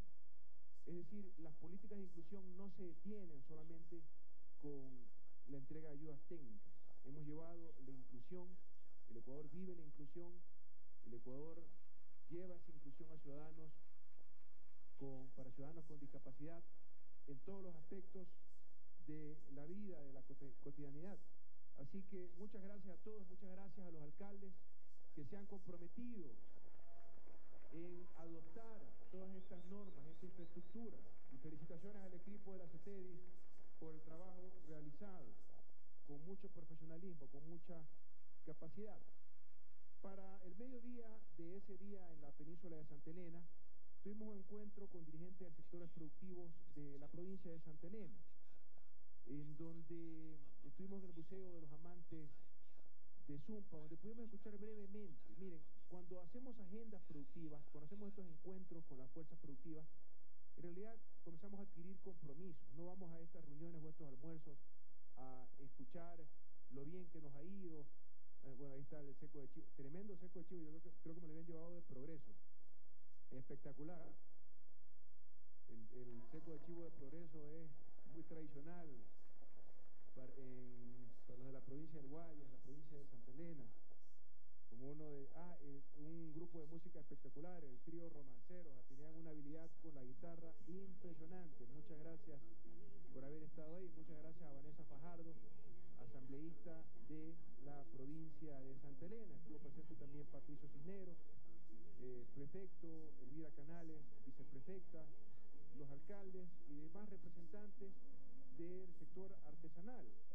Estuvo Alexandra Roca de la Asociación de Artesanos, estuvo Clemente Santos, presidente de la Cooperativa de Pesca Artesanal 25 de marzo, Mercy Quimí, titular de la Asociación de Producción de Camarones en Gunga, Erlinda González de la Asociación Exportadores de Sombreros de Paja Toquilla, Alfredo Malavé, agricultor de la Comuna Saranguillo, y otros compañeros y compañeras que compartimos un almuerzo de trabajo con el vicepresidente de la República, con autoridades del gobierno central para adquirir más compromisos. Creo que es importante poder escuchar algunas declaraciones de estos compañeros, pequeños productores, que saben que ellos tienen en sus manos la capacidad de ser parte de este nuevo tejido productivo para los ecuatorianos y para ellos mismos y que tienen todo el apoyo de la revolución ciudadana. Cuando yo escucho a los más pequeños de las fuerzas productivas, de la base productiva del país, compañeros artesanos, compañeros actores de la economía popular y solidaria, y los escucho hablar del cambio de la matriz productiva, sé que este programa, esta estrategia, está en marcha y que está cambiando la forma de pensar y la forma de vernos a nosotros mismos por parte de todos los ecuatorianos. La forma de vernos a nosotros mismos los ecuatorianos como fuerza productiva, como ecuatorianos orgullosos que somos ahora. Adelante, por favor, con estos pequeños videos antes de continuar con el informe de la agenda. Alexandra Roca, artesana maderera de Santa Elena. Agradecerle por ser partícipe de esa matriz productiva que nos está sacando adelante al pequeño y pequeño productor, al sector agrícola con el proyecto Pidace, a, a las compañeras hilando el desarrollo, las compañeras costureras de Río Verde, las compañeras artesanas, mis compañeros artesanos en la madera de Atahualpa, Tambo, Prosperidad, unidos por un solo objetivo, salir adelante, dando el respaldo incondicional a usted y a nuestro presidente de la República, Rafael Correa, por este proyecto de la Revolución Ciudadana. Clemente Santos, pescador artesanal de Santa Elena. Estamos muy agradecidos por el puerto pesquero que nos han construido. Es una razón muy especial porque ya no tenemos esa faleza de pronto desesperación cuando hace años tras años, hace se- seis años, y ciertamente pues eh, veamos el oleaje y veamos eh, a ver las destrucciones de embarcaciones gracias a esta administración que ningún presidente jamás tuvo en cuenta al pescador artesanal. También como representante del Seguro Social Campesino que tengo 300 y- personas afiliadas y en cual también un agradecimiento porque nos dio la, a- abrió las puertas en el 2008 para entrar nosotros el pescador al Seguro Social Campesino. Erlinda Hernández, productora de sombreros de paja toquilla se declaró como un patrimonio cultural, pues es ahora de que a este material se lo debe dar el reconocimiento en sí, porque Santa Elena es la productora de esta materia prima. Y que viva Santa Elena por este material que tiene. Vanessa Fajardo, asambleísta por Santa Elena.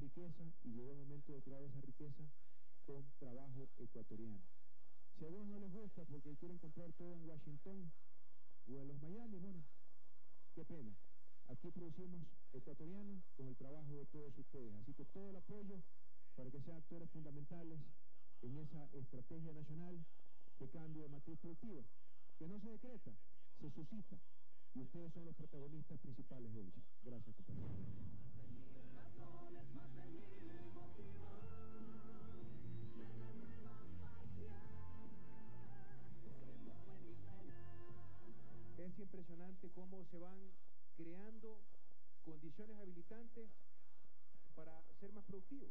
Insisto, el socialismo moderno no puede dejar de hablar de productividad y de eficiencia.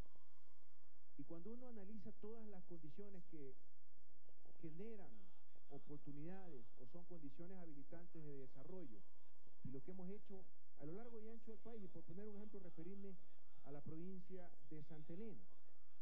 La asambleísta, querida amiga Vanessa Fajardo, hacía referencia al proyecto Pidaza, un proyecto que recibió asesoría de los compañeros cubanos liderado por el Ministerio de Agricultura, en donde antes había desierto, ahora se ha roto récord de producción de maíz, donde ya hay centros de acopio, donde ahora con el riego fortalecido, gracias a que después de décadas tuvo que llegar la Revolución Ciudadana para terminar el trasvase Chongón-San Vicente.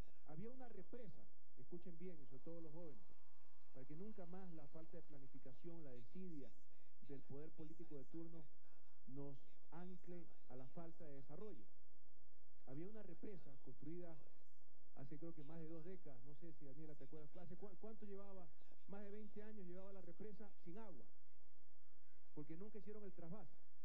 La represa de San Vicente que hubo que, hubo que repararla porque no tenía, no tenía agua. El trasvase Chongón San Vicente sencillamente no lo hicieron. Y dejaron la represa botada. Eso va a impactar más de 7.000 hectáreas, me parece que pueden tener mayor, mayor producción. Bueno, y con riego tecnificado hemos desarrollado en distintas zonas de la península de Santa Elena producción de maíz y ahora, por fin, después de todos estos años, el Ecuador es soberano en maíz, ya no vamos a importar maíz, nos va a sobrar el maíz, todo el maíz que vamos a consumir en el Ecuador, el balanceado que se va a producir en el Ecuador es con maíz ecuatoriano, lo cual nos llena de orgullo. El proyecto, el proyecto, ya no me desconcentre compañero. Mire los Super 35 ahí que yo pensé que estabas dormido. Ah. Oye, tú eres Super 35 y la compañera ahora qué es este. La Mujer Maravilla 35. Vean ustedes ahí la pareja. Dios les pague. Nos acompañan a todos los enlaces, a todos los gabinetes, están en los cambios de guardia. Esa querida militancia. Ahora sabemos más que nunca, primero somos militantes, disculpen que hagan estos comentarios en medio del informe, pero me llena de entusiasmo el compromiso de nuestros queridos compañeros militantes. Primero somos militantes, luego somos gobierno.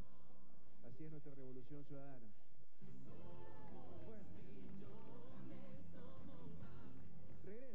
A, la península de Santa Elena, a la provincia de Santa Elena.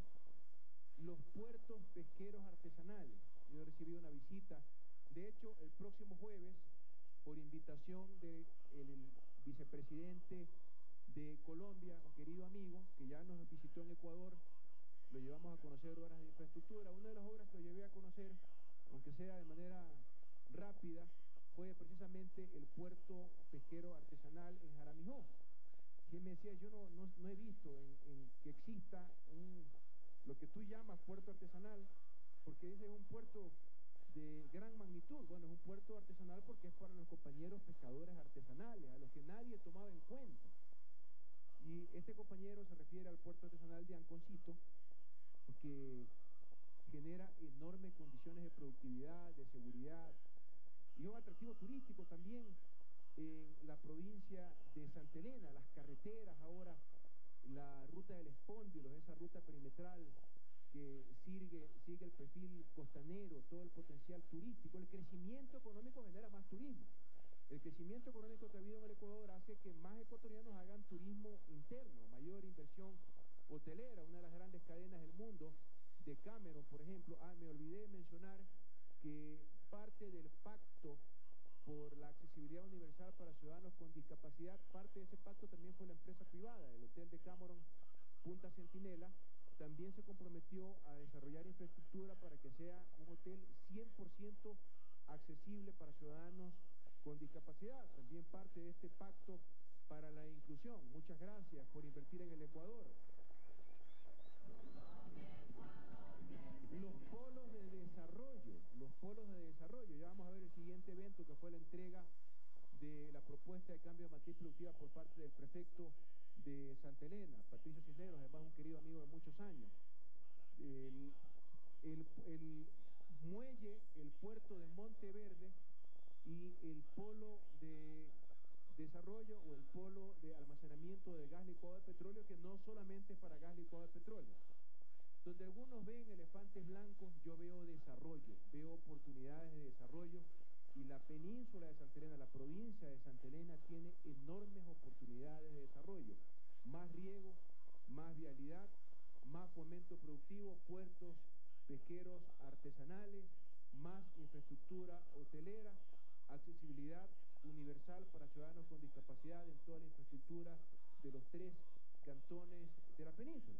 Todas las condiciones para generar más desarrollo inclusivo, la creación de más oportunidades con equidad para todos los ciudadanos y ciudadanas de Santa Elena. Luego de este evento, en donde adquirimos algunos compromisos con los compañeros pequeños productores, pescadores artesanales, eh, productores de camarón artesanal, ya están incursionando en maricultura, lo vamos a ver también en la propuesta de la prefectura. Nos fuimos hacia el Parque Vicente Rocafuerte en el Cantón Salinas, en donde recibimos la propuesta de cambio de matriz productiva por parte del prefecto de la provincia. La provincia, las prefecturas tienen por constitución y por ley competencias de fomento productivo. Estuvo presente Patricio Cisneros, prefecto de la provincia, Elvira Canales, viceprefecta, Pedro Gómez, gobernador encargado, Dionisio Gonzabay, alcalde de Santa Elena, Daniel Cisneros, alcalde de Salinas, Antonio Espinosa, alcalde de La Libertad, y Vanessa Fajardo,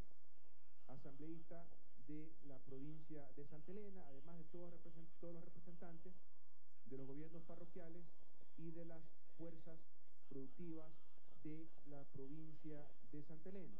Tenemos unas breves intervenciones de Patricio Cisneros, prefecto de la provincia de Santa Elena y del vicepresidente de la República. Patricio Cisneros, prefecto de Santa Elena.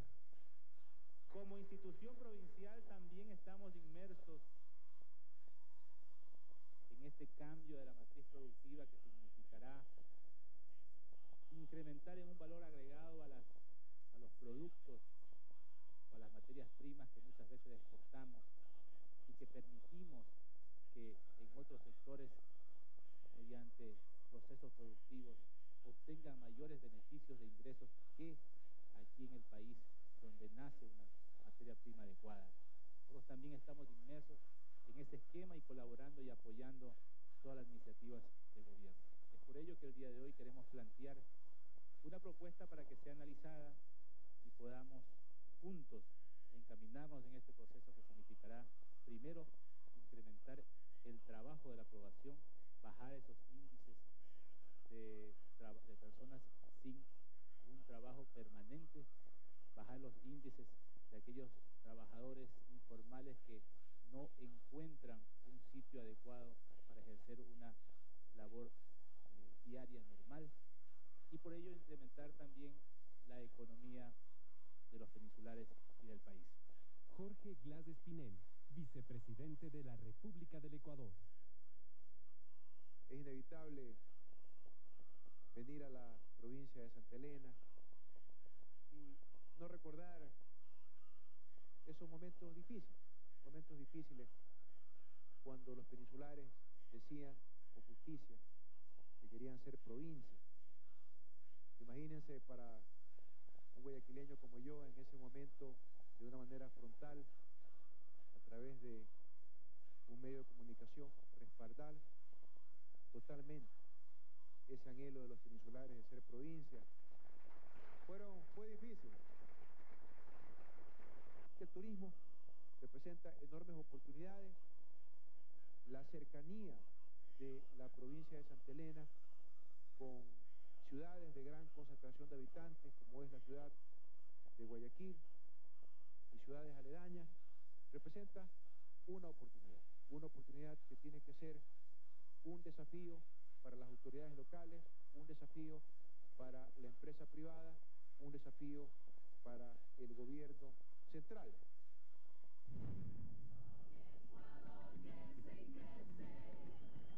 Hubieron cadenas priorizadas, cadenas productivas, servicios, turismo, enorme potencial turístico de la provincia de Santa Elena, la elaboración de productos no maderables construidos en base a paja, toquilla y atagua, caña guadúa, también hay una enorme tradición, hay unos saberes ancestrales en, ciertas comunidades de la península de Santa Elena para construcción de hermosos muebles. producción de maricultura y apicultura. El prefecto ha venido trabajando mucho con las comunidades para fomentar maricultura de ostras. Yo le propuse también hacer un piloto.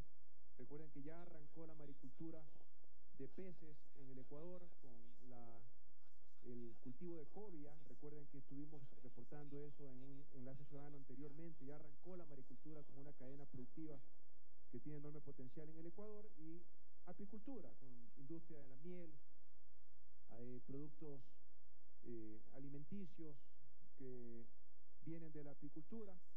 La península de Santa Elena tiene cadenas potenciales en camarón, peces, limón, maíz, ya hablamos del proyecto Pidace, caña para etanol, con la nueva estrategia de biocombustibles, parte también del cambio de la matriz productiva.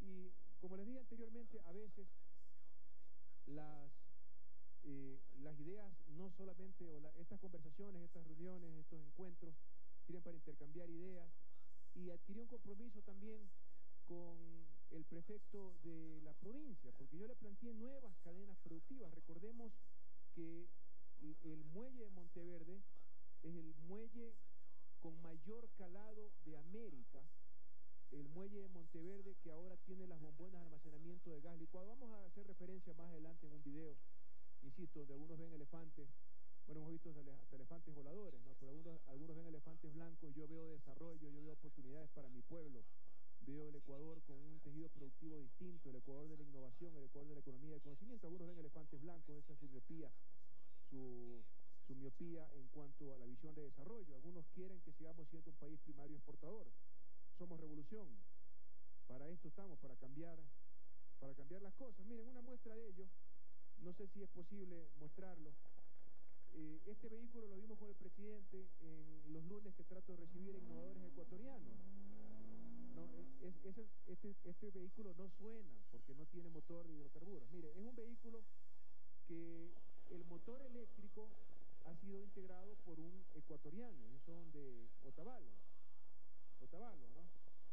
Ibarra, Ibarra, perdón, me equivoqué, babureño. Tiene un motor monofásico, las baterías están en el interior. De hecho, estos compañeros llevaron el vehículo, eh, lo llevaron eh, manejando hasta el Palacio de Gobierno desde, desde Imbabura. Y normalmente los motores de estos vehículos son trifásicos, este es monofásico. Y ya estamos constituyendo, de hecho creo que la semana pasada el presidente suscribió eh, un decreto que nos permite entregar capital semilla, eh, capital de riesgo también, eso lo pusimos en el código financiero, porque queremos hacer un piloto. Este es un vehículo tradicional cuyo motor de, que usa combustible fue reemplazado por un motor eléctrico por un innovador ecuatoriano, por un emprendedor, porque además lo hace con fines de emprendimiento. Entonces, algunos no quieren ver esto, no quieren ver la fuerza creativa que se está desatando en todos y cada uno de los ecuatorianos. Este es un vehículo 100% eléctrico, cuyo motor, además la aspiración es que el motor monofásico sea hecho también en Ecuador, y ese es el plan de, para este piloto que queremos desarrollar con algunos vehículos, y este vehículo no suena, no, eh, se lo van a llevar el casco. Este vehículo no suena porque no tiene ningún tipo de motor que que consuma combustible fósil, no tiene carburador, nada, tiene un motor eléctrico. Esas son las oportunidades de desarrollo y justo conversando con el prefecto de la península de Santa Elena, le decía, mira, te estamos recibiendo propuestas de inversión para que Monteverde sea un terminal, aprovechando ese muelle que tenemos que es de los más importantes, no solo de América, sino del mundo. Creo que es el segundo muelle con mayor calado del planeta para terminal de productos líquidos y ya algunas empresas que comercializan combustibles a nivel global han visto una oportunidad de poner un centro logístico de químicos y de combustibles para Monteverde. Inversiones, de hecho, que ya están planificándose alrededor de este importante muelle. Hemos generado todas las condiciones para generar una nueva estructura productiva para la península de Santa Elena. ¿no? Y el prefecto me decía, mira, siempre me han dicho que aquí podemos producir, producir cloro. Vamos a identificar asumido la responsabilidad de hacer una pequeña conceptualización de los estudios para ver si eso es posible, a ver si podemos crear, generar nuevas cadenas productivas en la provincia de Santa Elena. En horas de la tarde, durante ese día, aprovechamos para compartir con la militancia, inauguramos una una central de Alianza País. No me extiendo en esto, pero me llenó de mucho entusiasmo, mucho profesional joven, joven peninsular, que estaban asumiendo el reto de crear un frente de profesionales por la Revolución Ciudadana. Muchas gracias, Dios le pague. Había una, habían hecho una gigantografía con una imagen del presidente, del vicepresidente, del asambleísta Vanessa Fajardo. Dios le pague, muchas gracias por ese compromiso. Y en horas de la noche nos fuimos a Ancón.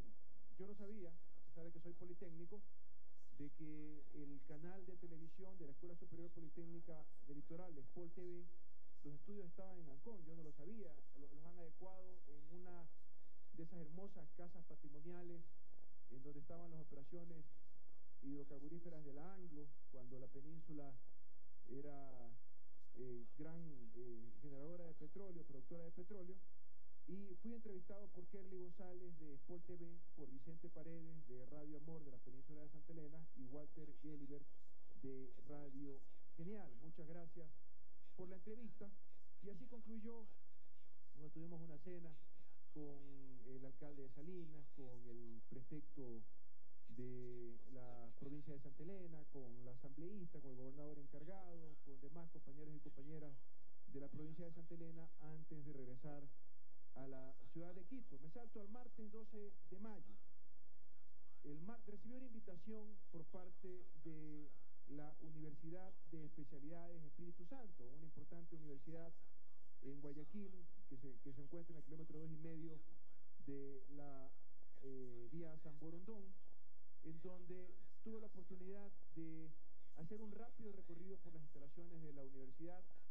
Los estudiantes habían puesto unos pequeños stands mientras yo entraba a la universidad con emprendimiento. Esto me genera entusiasmo. Bueno, estoy siendo recibido por todas las autoridades, las máximas autoridades de la Universidad Espíritu Santo. Me llenó de entusiasmo ver que todos están hablando del cambio de la matriz productiva. Ahí estoy en el laboratorio, ustedes los, los que están siguiendo el enlace en- por televisión, en las pantallas de sus, de sus televisores, ellos están experimentando un nuevo tipo de concreto, en, este, le agregan fusolanas, eh, fusolanas para aumentar resistencia, durabilidad. Yo me quedé impresionado con los laboratorios de resistencia de materiales en la Facultad de Ingeniería Civil. Estos son los emprendimientos. Miren, esas bolitas de carne que ustedes ven ahí por parte de estos jóvenes emprendedores, estudiantes de la universidad, están hechos con cáscara de banano, de plátano. Ni siquiera con el plátano, es con la cáscara de plátano. Esto es un emprendimiento de chocolates. También eh, ahí estoy con el rector de la universidad. Jóvenes que no quieren ser empleados. Esto es parte del cambio de lo que yo de la matriz del pensamiento. Dale, el vicepresidente hablando de matrices. Pero estas aplicaciones, estos emprendimientos, estas son artesanías hechas con tagua, marfil vegetal, estas aplicaciones de control de tránsito a través de diversa tecnología, software desarrollado por jóvenes ecuatorianos, muchos de estos emprendimientos ya han recibido reconocimientos nacionales internacionales, emprendimientos en torno al turismo, en torno a la agroindustria, la industria de los, de los dulces, de los chocolates. Ahí están los laboratorios de los estudiantes en medicina. Aproveché para tomarme la presión, todo está bien, así que hay vicepresidente para rato, perdón, Jorge Glass para rato, nada más. Jorge Glass para rato, vicepresidente. Y ahí me quedé impresionado con ese microscopio, ese es un microscopio especializado en el laboratorio de biotecnología para inseminación, eh, mejoramiento, para el mejoramiento de la raza del acto ganadero, como le dicen los especialistas. Vamos a hablar también algo de eso. Creo que nos acompañan también aquí compañeros del Ministerio de Agricultura. Ustedes saben que el Ecuador, y de hecho, ya, ya hemos sido declarados país libre de aftosa, significa que podemos exportar carne y productos lácteos, pero el próximo jueves, si la memoria no me traiciona, nuestro ministro de Agricultura, querido amigo Javier Ponce, estará recibiendo en París, me parece, el reconocimiento ya formal que nos permite exportar carne, el potencial que tiene esta cadena productiva y ver que hay universidades comprometidas con esta cadena productiva me llena de entusiasmo. Mira, hay países en Latinoamérica que buena parte de su crecimiento económico lo sustentan en la cadena de los cárnicos, Uruguay, Paraguay. En Paraguay hay más vacas que personas. Ellos han logrado fortalecer esa cadena productiva que genera gran riqueza. El precio de la carne ha ido creciendo de una manera sostenida, así que es una gran fuente de riqueza. Y hay universidades que están comprometidas con esa estrategia, con ese fortalecimiento de la cadena de los cárnicos para consumo interno y también para exportación. Así que estuve en ese recorrido visitando a eh, los centros, los laboratorios de la Facultad de Arquitectura e Ingeniería Civil, estuve en, la Facultad de Economía, en la Escuela de Ciencias Ambientales, de Medicina, vi proyectos muy emocionantes como el de hormigón con pusolana, eh, emprendimientos eh, como Green Meat, eh, carne verde, un saludo a Andrea Salcedo, estudiante de Economía, eh, proyectos de cacao, banadín, unos proyectos de agroalimento, agroindustria, esto es agroindustria, lo que hemos venido hablando, que pueden servir para el desayuno escolar, Capocara, eh, proyectos um, de gestión sostenible de residuos producidos por la industria gráfica, en la facultad, de, en el Instituto de Ciencias Ambientales, productos, emprendimientos turísticos, enorme potencial que tiene el Ecuador en observación de colibríes especialmente, en, en, fin, y un proyecto de tecnología de la información y la y comunicación para medir las infracciones de tránsito, modelos predictivos de información para evitar accidentes de tránsito en general. Fue una visita eh, emocionante. Muchas gracias a Joaquín Hernández, rector de la Universidad de Especialidades Espíritu Santo. Muchas gracias a Carlos Ortega, canciller de la universidad. Galo García Perot, presidente del Consejo Consultivo de la UES, Roberto Pazley, canciller de la Universidad de Ecotec, Juan Pablo Ortega, vicerrector administrativo, Marlene León, vicerrectora académica, Fidel Márquez, un querido amigo de muchos años, rector de la Universidad de Ecotec, Guillermo Flores, Contralor Institucional, Jorge Páez, secretario general, y demás autoridades, decanos y sobre todo los estudiantes que asistieron a esta conferencia del vicepresidente de la República en la Universidad Espíritu Santo, de la cual les presento un pequeño video de las palabras del rector y de la intervención del vicepresidente. Joaquín Hernández Alvarado, rector UES. Creo que el concepto de matriz productiva es un concepto de importancia decisiva.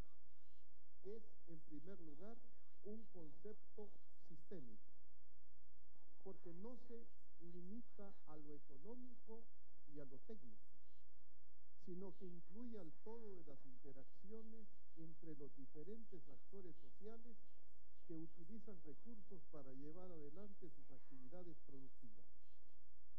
Nos encontramos en un nuevo contrato social de la universidad, la empresa y el Estado, basados en el conocimiento.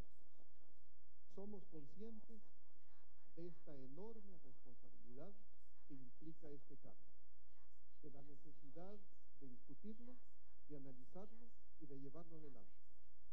Deseamos trabajar en conjunto desde nuestras especificidades para esta transformación de la sociedad ecuatoriana. Señor vicepresidente, sea bienvenido. La primera en esta es su casa académica y de amigos que quieren llevar adelante este proyecto. Muchas gracias. Jorge Glass vicepresidente de la República del Ecuador. Creo que hemos demostrado a los pequeños productores que con asociatividad podemos aumentar producción y garantizar calidad. Y ya el presidente anunció el nacimiento de un nuevo banco, Ban Ecuador. No es una nueva institución financiera nada más. Este banco podrá otorgar créditos sin garantías sin garantías reales. Los que hemos sido emprendedores sabemos lo que cuesta conseguir un crédito, ¿no verdad? A veces toca empeñar hasta la casa. Pero el nuevo banco va a ser un banco de desarrollo, banca pública, que podrá otorgar préstamos sin garantías reales para poder suscitar asociatividad, acción colectiva, tecnificación, mecanización e intervención integral en la cadena productiva.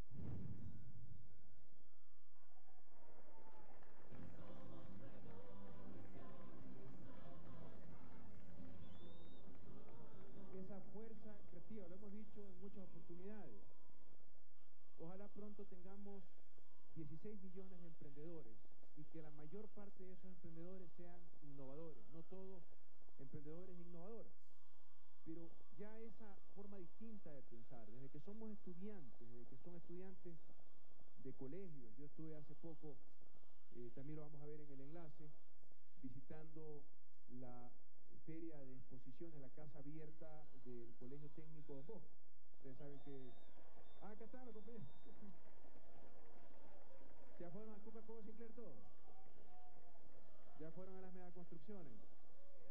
Ustedes saben que yo soy salesiano, así que más allá de que siempre me, me llena de energía compartir con los jóvenes que están creando, que están innovando, y lo vamos a ver en el enlace, siempre visitar una institución salesiana me llena de compromiso. Es inevitable recordar las épocas de, de escuela, de colegio. Estuve 13 años en el Colegio Salesiano Cristóbal Colón y tuve el enorme entusiasmo de ver, de encontrarme con queridos amigos, queridos mentores, gente que, eh, salesianos que fueron parte de mi formación y que siguen siendo queridos amigos. Lo veremos más adelante, ya regresaremos a ellos. Pero vean ustedes cómo los jóvenes, desde estudiantes, y ellos ya van directamente al desafío. Vicepresidente, necesitamos apoyo para esto, necesitamos plata. Necesitamos capital semilla, capital ángel, capital de riesgo. Ya saben lo que quieren, ya saben lo que necesitan. Este producto, este producto tiene potencial. Necesitamos que usted nos apoye, por supuesto, todo el apoyo, compañeros y compañeras, a esos queridos jóvenes de la Universidad de Espíritu Santo, que ya están siendo innovadores. Miren, la, podrá no ser tecnológico, pero eso de hacer una carne vegetal con la cáscara del plátano es una innovación nos resuelve un problema alimenticio, es saludable, en fin, hay distintos niveles de, o tipos de innovación. Muchas gracias a todas las autoridades, a todos los estudiantes por haber recibido al vicepresidente. El miércoles 13 de mayo, al día siguiente de haber dado esa conferencia en la Universidad de Espíritu Santo, tuve la oportunidad de visitar una importante mega construcción. Esta mega construcción es inversión privada, no es una mega construcción de las que hacemos en el Estado Central. Yo me había comprometido a estar presente en la inauguración de la ampliación de la nueva planta de clinker de una empresa que fabrica cemento en el Ecuador, me refiero a Holcim, la planta de cemento de Holcim.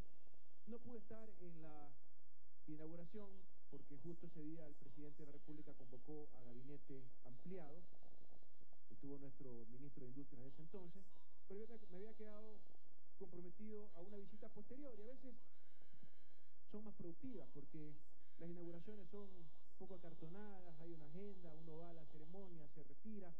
Ahora tuve la oportunidad de conocer la planta, aprender un poco de su tecnología. Ustedes saben que soy ingeniero, todo lo que es tecnología, procesos productivos, me despierta entusiasmo. Compartir con los trabajadores, compartir con sus directivos. Hay un gran compromiso de seguir invirtiendo por el país.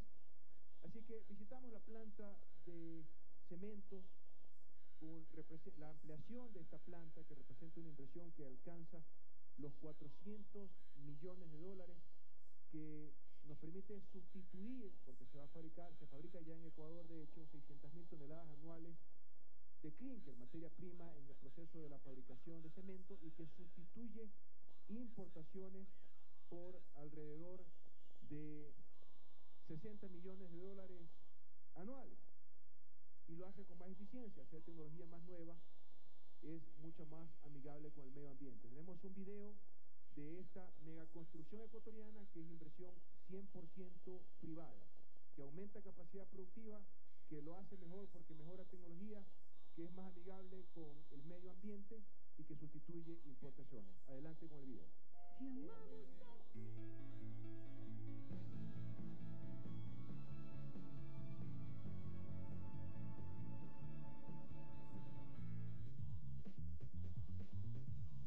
producción nacional de cemento es clave para dar el salto hacia el fortalecimiento de la industria ecuatoriana.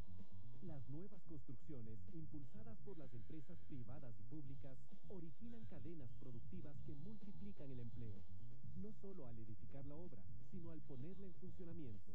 Por esta razón, el miércoles 13 de mayo, el vicepresidente Jorge Glass visitó la planta de cemento Holcim ubicada en Guayaquil. En el recorrido recibió información sobre el proceso de producción del cemento y específicamente la elaboración en su nueva planta de clinker, un componente granulado indispensable para la obtención del cemento. Esta infraestructura sustituye la importación de 600.000 toneladas de clinker, un gran beneficio que genera mayor riqueza, aumenta la producción y la calidad del cemento nacional, así como la generación de 3.200 plazas de trabajo en esta etapa. Nos ha dado una gran oportunidad para desarrollar nuestra gente, nuestros trabajadores, eh, que fue un gran logro tanto técnico como de liderazgo. Estamos muy comprometidos de eh, creciendo con el país y cre así creando valor compartido. En los últimos cinco años, esta empresa ha realizado una fuerte inversión en el país de alrededor de 400 millones de dólares en obras de modernización de la planta de cemento Guayaquil, una de las más grandes de esta multinacional. Aquí está el cemento que va a ser producido en Ecuador y con materia prima ecuatoriana, que eso es muy importante. Esto también es una megaconstrucción ecuatoriana, es una megaconstrucción con inversión privada que sustituye importaciones, que aumenta producción nacional, que lo hace con gran calidad, que está innovando y experimentando cemento de mayor resistencia, de mayor durabilidad para la construcción en el Ecuador. Estas inversiones permiten optimizar la producción y dejar de emitir 700.000 toneladas de CO2 al año. Producir con más eficiencia, menos emisiones, vamos a producir más local, que significa menos transporte eh, en toda la cadena. Esta inversión es un aporte muy importante a cambio de la matriz productiva.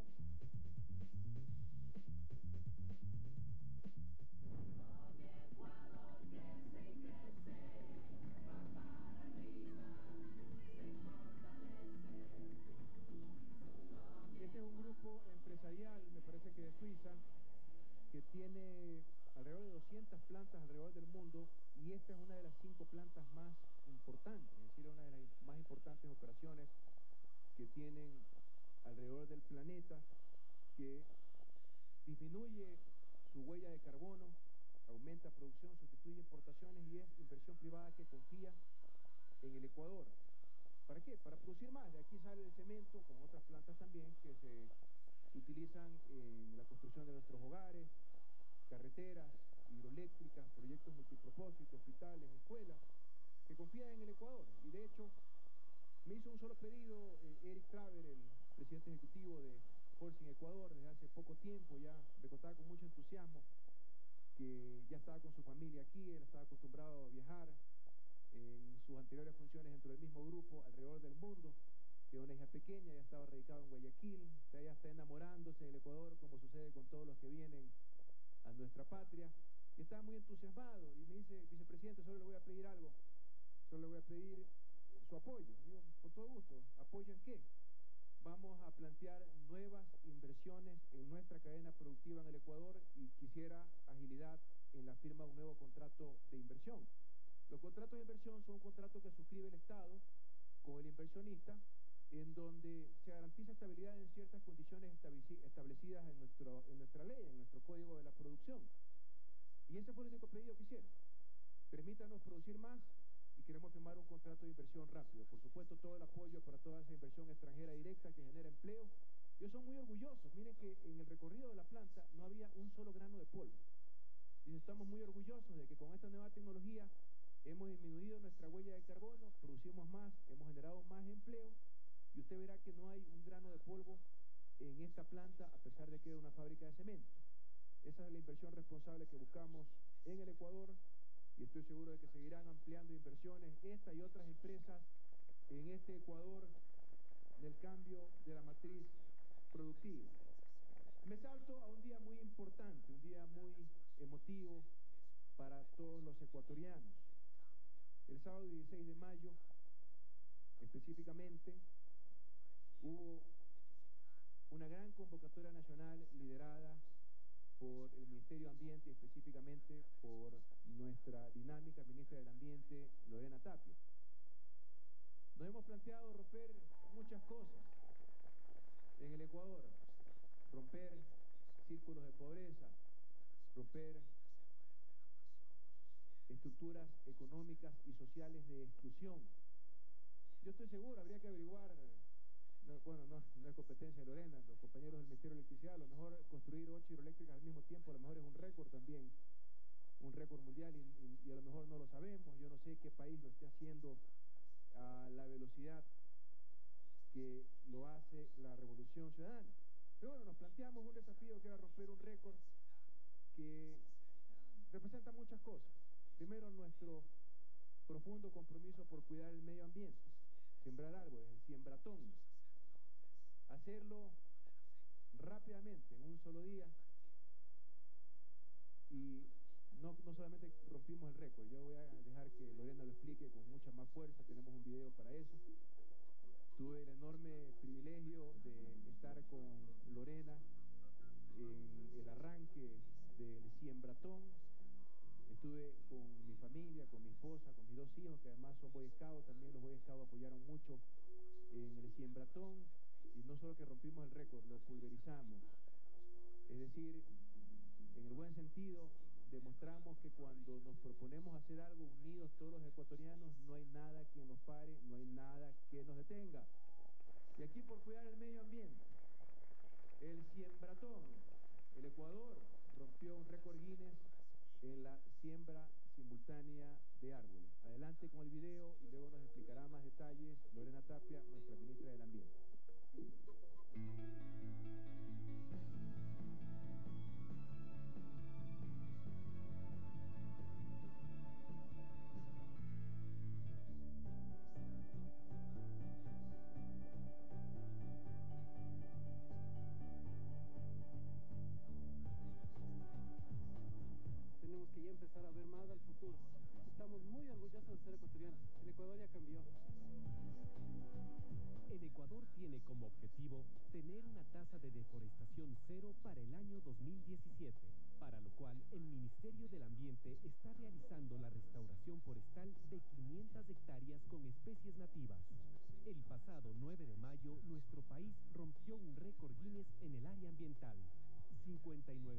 59.878 voluntarios sembraron 771.756 plantas de 241 especies nativas en varios lugares del Ecuador. muy importante porque así no dañamos el suelo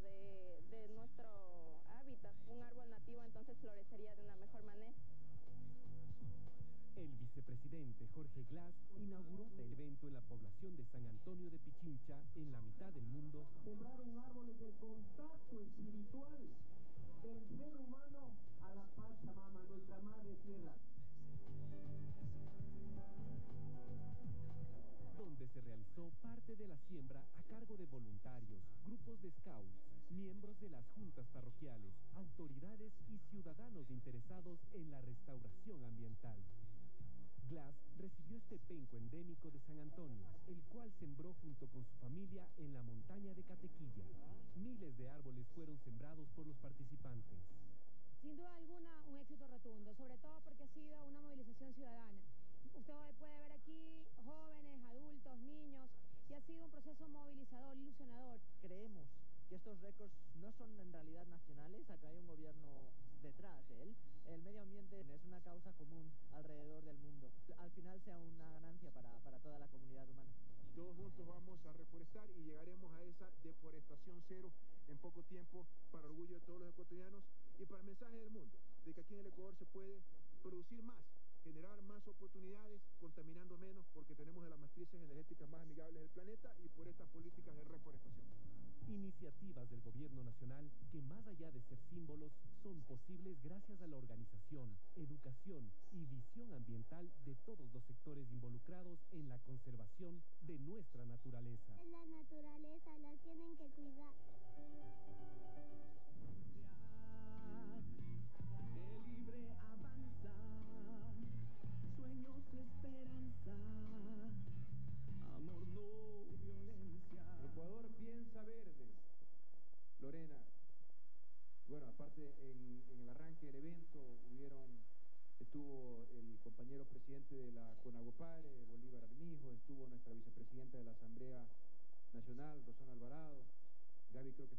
País en ese día, eh, estuvo Natalie Celi, nuestra ministra de Coordinación de la Política, varios compañeros asambleístas, eh, un agradecimiento muy especial a los compañeros de San Antonio, ahí en la mitad del mundo, con quienes estuvimos compartiendo en esa parte específica del Siembratón. Nuestro presidente en el arranque de Enlace Ciudadano también sembró un árbol como parte del Siembratón. ¿Qué fue, cuál fue el récord que rompimos, Lorena? ¿Cuáles son la cantidad de ciudadanas que se y ciudadanos que se movilizaron para sembrar árboles?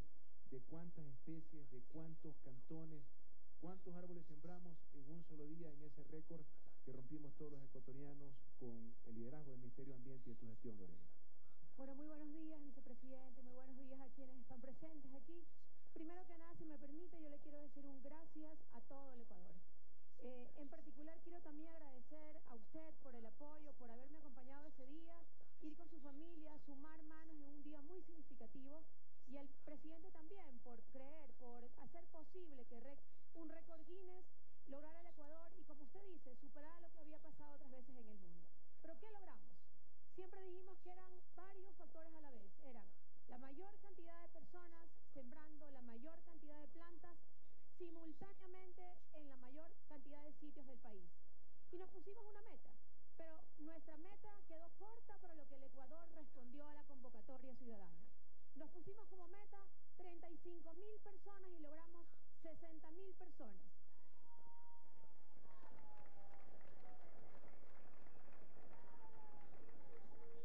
Nos pusimos como meta 360 mil plantas y logramos 700 mil plantas.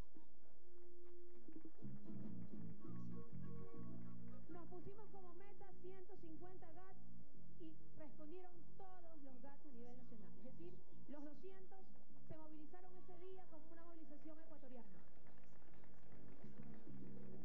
Y luego, además, eh, justamente la persona de Record Guinness que intervino dijo, es muy importante que el Ecuador también destaque que por su biodiversidad es la primera vez en el mundo que se logra romper un récord de reforestación con fines de conservación con el número de especies nativas que fueron sembradas.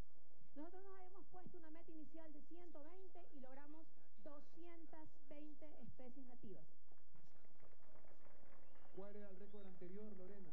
El récord anterior parecido tenía Turquía, pero Turquía logró movilizar 10.220. Nosotras logramos 60.000 personas y, como le digo, esto más allá de un récord es la respuesta de un Ecuador que ya cambió. Un Ecuador que, como usted dice, está para grandes cosas. Un Ecuador que le ha apostado a los temas ambientales, pero estratégicamente. Y ese fue el Ecuador que se movilizó ese día y créame que para mí, como ministra, en este momento en mi vida, es realmente emocionante que eso haya permitido dar un mensaje al mundo.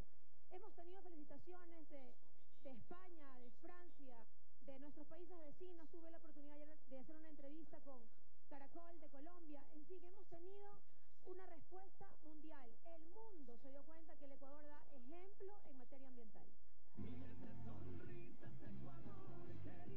Muchas gracias, Lorena. Mi felicitación expresa al Ministerio de Ambiente, a ti, Lorena, nuestra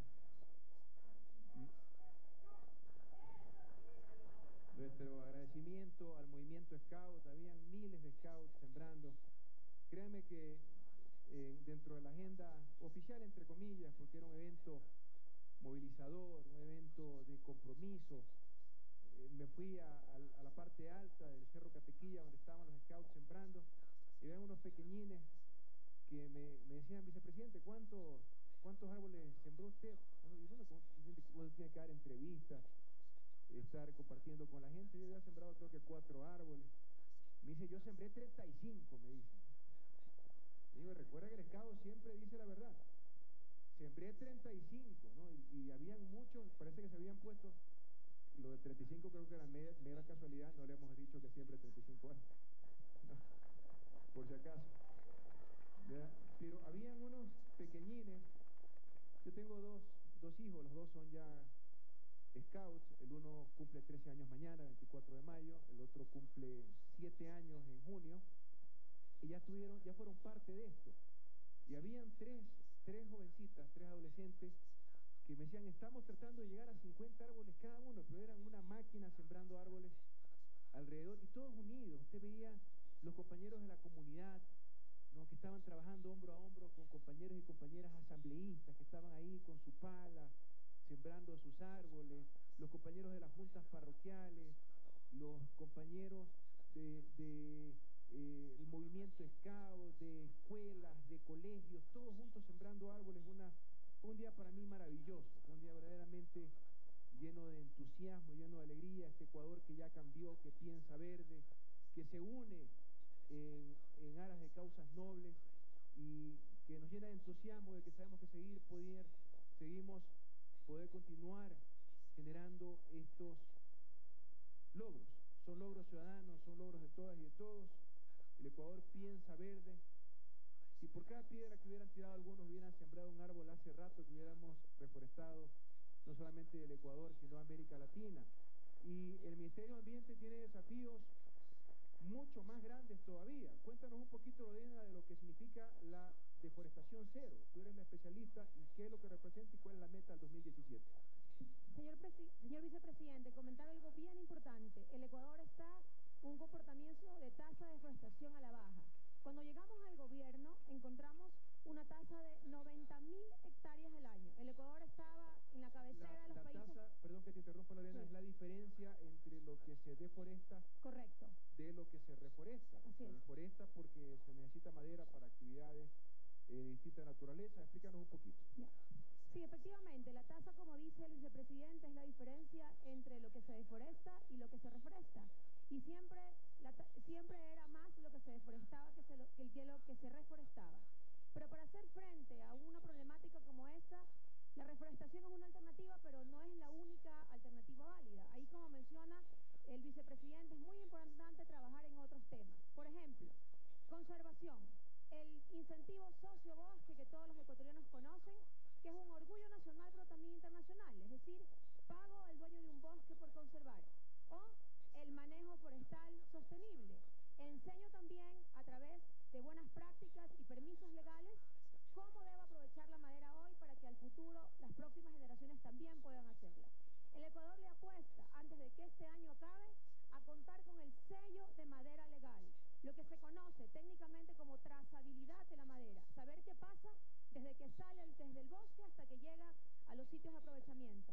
Con todas estas medidas, hoy la tasa de deforestación llegado a 40.000 hectáreas al año. Es un número que todavía falta por trabajar, pero es un avance enorme haber logrado en estos años de gobierno de 90.000 hectáreas encontradas llegar a 40.000 hectáreas encontradas. Y no lo decimos nosotros como gobierno. Hemos tenido la oportunidad de ser invitados internacionalmente a contar acerca de nuestras experiencias y nuestro trabajo. Sociobosque, por ejemplo. La alternativa de reforestación el año anterior tuvimos la oportunidad también en Perú, dentro de la COP de cambio climático, también contar de la experiencia ecuatoriana. Así que, hacia el año 2017, con todas estas medidas, lograremos una tasa de deforestación cero, que significa que la conservación y la reforestación será mayor a lo deforestado. Eso es lo que vamos a lograr, vicepresidente. Ecuador piensa verde, Ecuador ya cambió. Gracias, Lorena. Lo más Gracias importante en la naturaleza es el ser humano. Nuestras actividades productivas, la existencia misma del ser humano causa un impacto en la naturaleza. Hay que mitigarlo. Cuando digo con mucha fuerza que vamos a producir más contaminando menos, lo decimos con mucha solvencia. Yo le he pedido a la ministra de Ambiente que verifique si es que existe otro país que tiene dentro de sus políticas energéticas tanta conciencia ambiental. Dejaremos de emitir 11 millones de toneladas de CO2 por año cuando estén las ocho hidroeléctricas en operación, con la energía eólica, las cocinas eléctricas en nuestros hogares.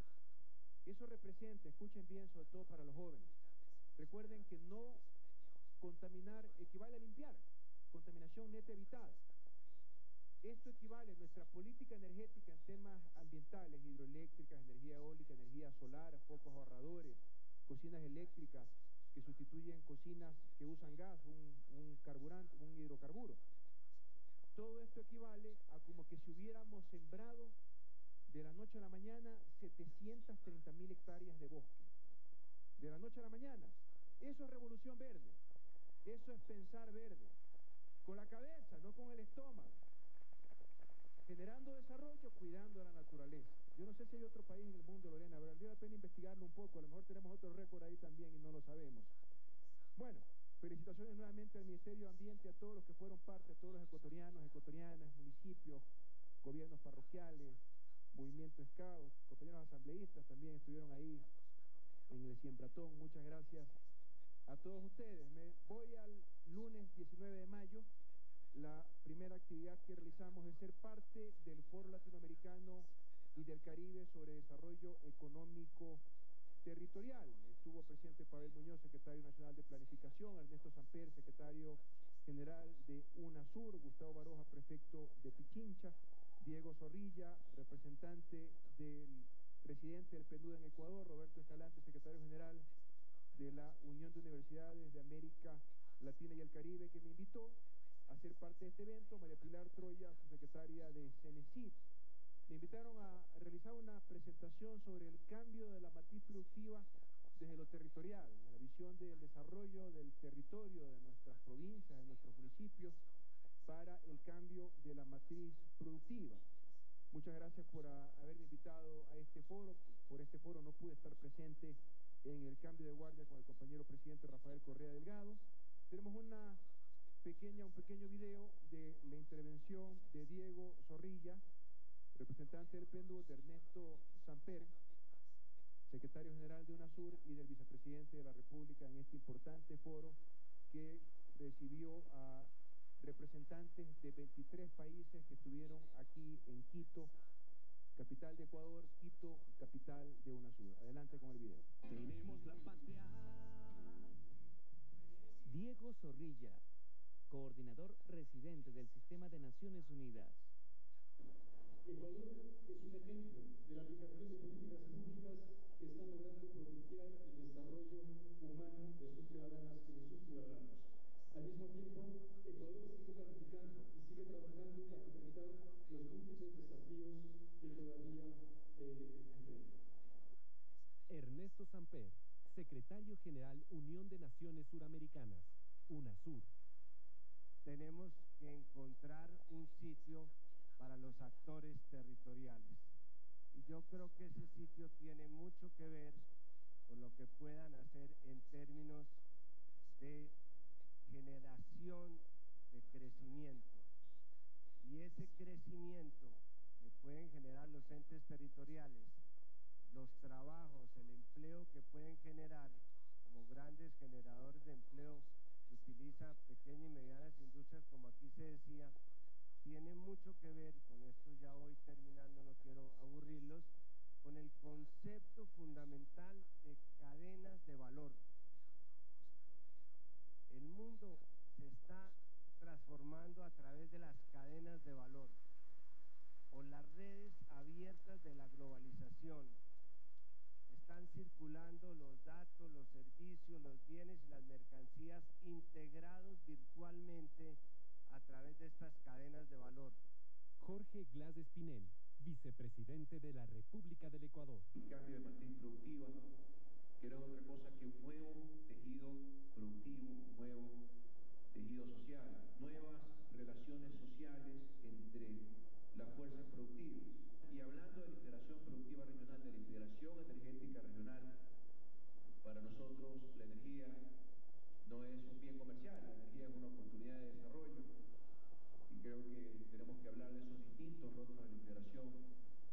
fuerza.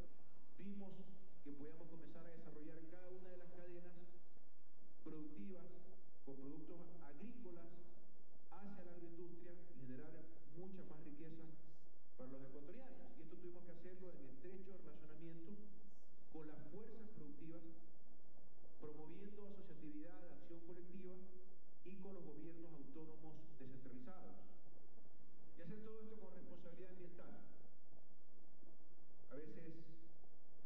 que estamos hablando de sencillamente un proceso de industrialización, no. Estamos hablando de un entorno de mayor producción orientado a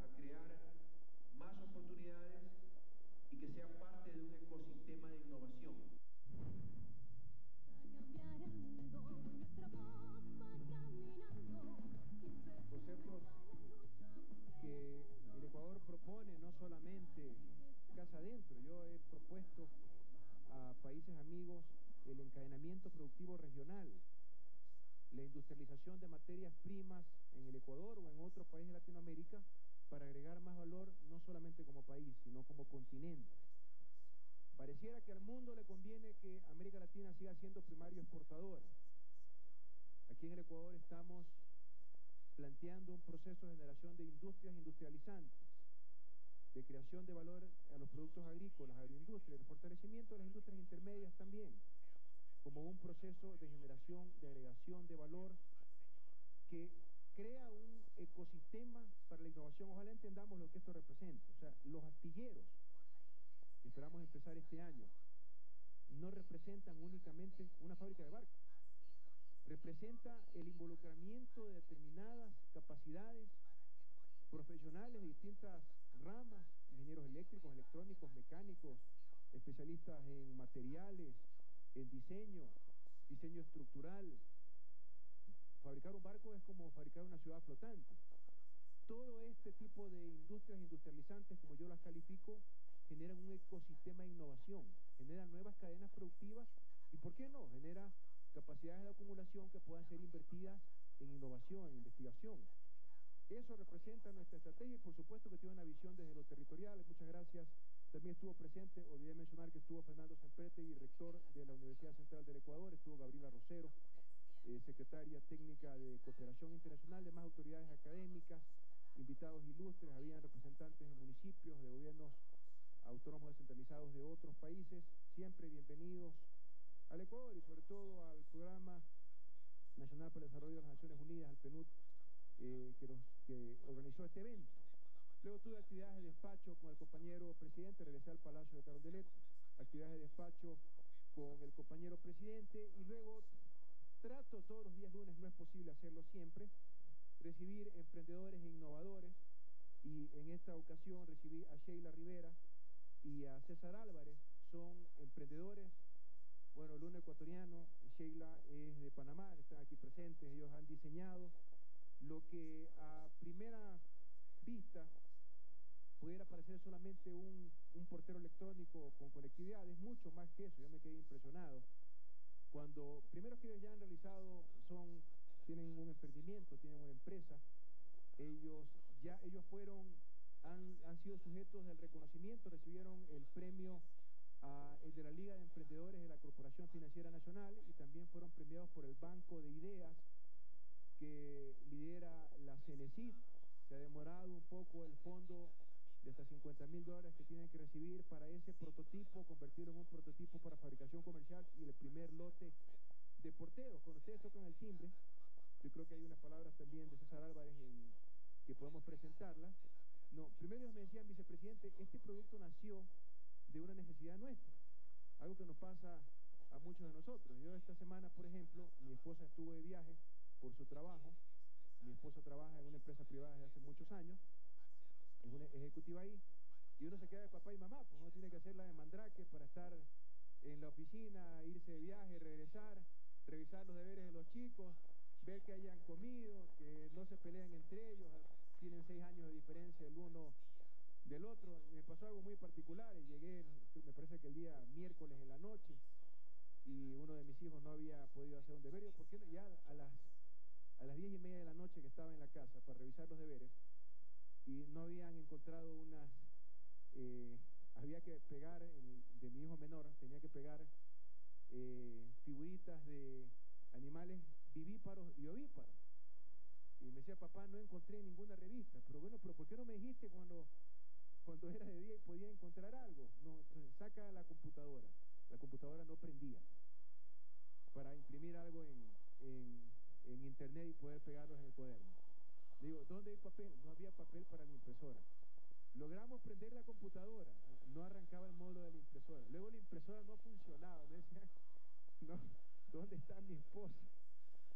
Pero bueno, esas necesidades particulares que enfrentamos hoy en día, donde padre y madre trabajan, le pasó también a Sheila y a César, con hijos pequeños. Bueno, este, inventemos algo para cuidar mejor nuestros hogares y ellos han desarrollado un portero electrónico que se conecta en videoconferencia con su teléfono móvil, es decir, tú puedes estar en otro país, saben quién está tocando la puerta de tu casa y es mucho más que eso, ¿no? Puedes intercomunicarte, puedes hablar con la persona que está en la puerta de tu casa o automáticamente si nadie contesta, el portero electrónico comienza a dar respuestas dando la impresión de que hay alguien adentro para temas de seguridad.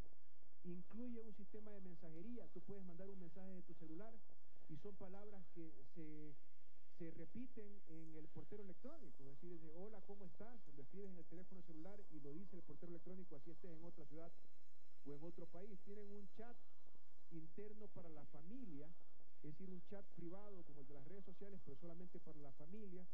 Y tiene muchas aplicaciones, me decía Sheila, ya eh, un ciudadano nos contactó y dice, esto es ideal para cuidar de mi mamá, yo, este, mi mamá vive sola, es una persona mayor, tiene que tomar sus medicinas, quiero conversar con ella, quiero interactuar con ella, tiene muchas aplicaciones y este es un producto que se llama eh, Wi for Home, ¿no verdad?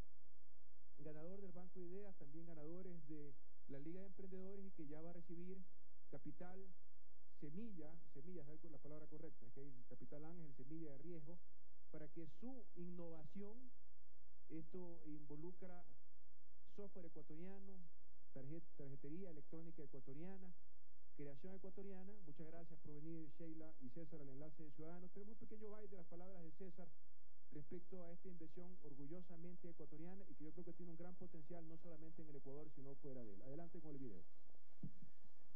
César Álvarez, innovador. Eh, hemos logrado crear una plataforma de videoconferencia que permite eh, varias aplicaciones.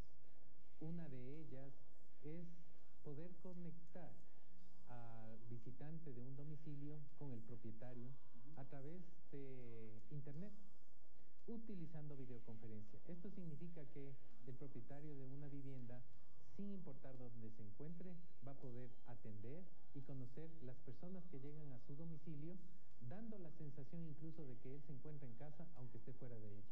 Telepresencia, una capacidad que hoy por hoy a nivel de varios países se está dando mucho auge debido a que permite conectar a las personas eh, incluso de tercera edad. Nosotros queremos dar la oportunidad a personas de tercera edad que de una manera sencilla puedan comunicarse con sus hijos simplemente pulsando un botón. Con esta plataforma estamos dando un aporte a la seguridad dentro de nuestros hogares y, ¿por qué no?, llamar una soberanía tecnológica. Vean esos conceptos, soberanía tecnológica, ahí está César, Sheila su esposa, César es de Quito, ¿verdad?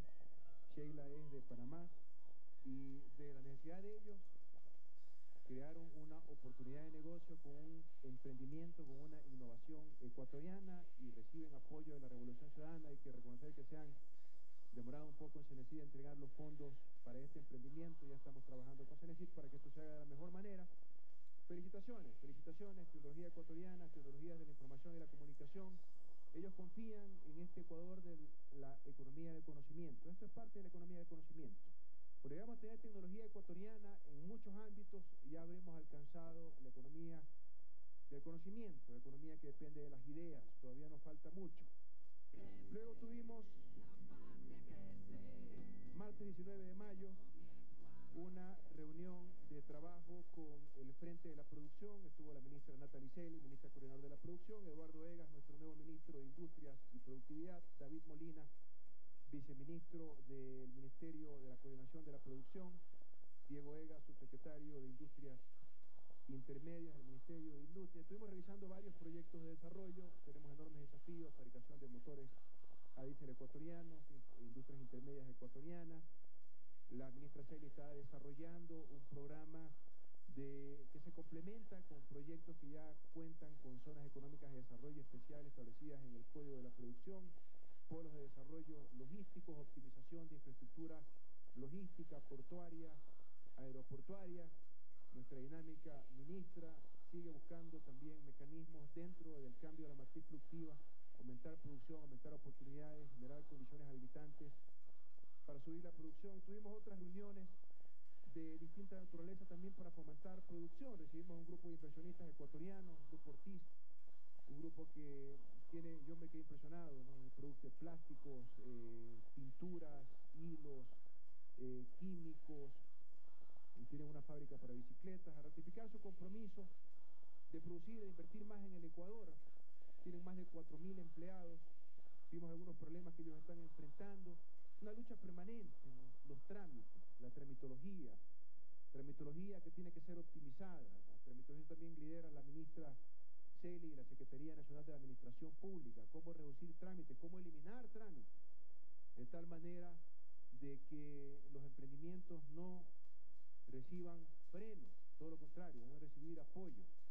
No, a veces si uno ve la lista de cosas o de trámites que hay que hacer para empezar un nuevo emprendimiento, mejor no lo hace.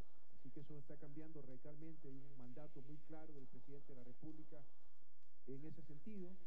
Tuve otra reunión de trabajo, tenía que comprender el problema. Si yo no comprendo las dificultades, será difícil buscar las soluciones. Había recibido yo algunas comunicaciones, un saludo a todos los compañeros que son parte de la cadena productiva avícola. a través de distintas comunicaciones también me lo expusieron cuando estuve en Calceta, en la provincia de Maraví, que había problemas con el precio de la carne de pollo, que consideraban que había un problema con el ingreso de huevos fértiles, de la cantidad de gallinas ponedoras. Tuve que aprender un poco de esta cadena productiva. La buena noticia es que ya el Ministerio de Agricultura ha tomado acciones porque habían serias dificultades por una posible sobreproducción avícola, pero ya ha tomado acciones el Ministerio de Agricultura y ya se está resolviendo esto y me he planteado poder convocar en un mes, creo que tendremos eh, acciones más contundentes para tener una reunión de trabajo que pudiera ser en Tunguragua, que es uno de los grandes polos de producción agrícola, para trabajar con los compañeros avicultores, para que sientan todo el respaldo de la Revolución Ciudadana para producir más, para producir mejor en esta cadena productiva. Luego tuve una reunión con el equipo que está liderando el desarrollo de estudios de visualización, prefactibilidad, factibilidad de las nuevas industrias básicas para ver cómo avanza este proceso de desarrollo.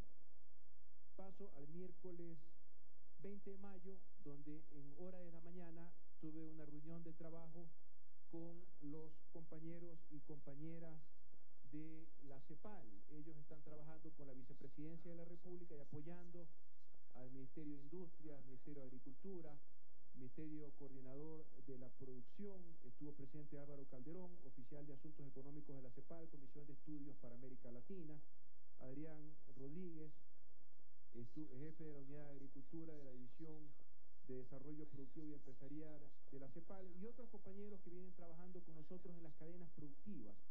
Dentro de este diseño de la estrategia de cambio de matriz productiva, que es una estrategia dinámica que cambia permanentemente. Por ejemplo, ya tenemos ejes muy definidos, industrias básicas, industrias industrializantes, fortalecimiento de la producción nacional, la, eh, la, agroindustria y ya la ministra Celia está trabajando en la cadena de servicios, tiene que ser incluida también dentro de la estrategia de cambio de matriz productiva y las cadenas productivas que hay unas priorizadas que no son las únicas, son sencillamente las que han las que se han trabajado primero conjuntamente con el sector privado, con las fuerzas productivas, con gobiernos autónomos descentralizados, con el gobierno central y hemos recibido mucho mucha ayuda, mucho apoyo de la CEPAL, tiene un importante equipo de trabajo con nosotros, trabajando en la vicepresidencia de la República. Muchas gracias a los compañeros y compañeras de la CEPAL.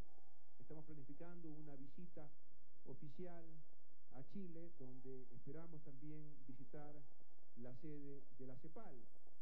Luego eh, tuvimos al mediodía un evento muy importante un almuerzo donde pudimos compartir en el restaurante Los Geranios, propiedad de la familia Mafla. Gracias a Miguel Mafla por recibirnos de esta manera. Eh, un almuerzo con 31 jóvenes. 31 jóvenes que son parte de esa generación del conocimiento, como le hemos calificado. Parte de esos 520 jóvenes profesionales que, forman parte de las principales empresas públicas de todos los ecuatorianos. Recuerden que cuando nos, nos, planteamos este desafío, bueno, vamos a tener nuevas, ocho nuevas hidroeléctricas en operación, ¿con quién las vamos a operar? Había que contratar más personal, más profesionales. Y dijimos, vamos a darle la oportunidad a profesionales jóvenes, mediante un concurso de mérito a nivel nacional, constituimos en las distintas empresas públicas por la ampliación de estas operaciones que el nuevo personal lo mismo vamos a hacer con técnicos especializados. Vamos a contratar, me parece que son 400 nuevos técnicos que van a entrar a la Corporación Nacional de Electricidad, linieros, especialistas en redes de distribución para garantizar la calidad del servicio eléctrico, con excelencia, y que sean jóvenes, y que los capacitemos. Todos hemos enfrentado la dificultad del primer empleo. Uno va a pedir trabajo, dice, bueno, ¿y su experiencia? No tengo experiencia por si me acabo de graduar. Y no recibían esa primera oportunidad. Entonces, los compañeros y compañeras de la generación de conocimiento, pónganse de pie, compañeros, son parte de los 31 que se van para China. Son de todo el país, de distintas universidades. Y siempre, no, no lo he podido hacer, hay unos que estuvieron en, en Brasil, ya regresaron. Ellos van a estar, creo que seis semanas, ¿no? Seis semanas en China. Entre, entre los sitios que van a visitar van a recibir capacitación en tres gargantas, la hidroeléctrica más grande del mundo. ¿Cuántos megavatios tiene? ¿Cuántos?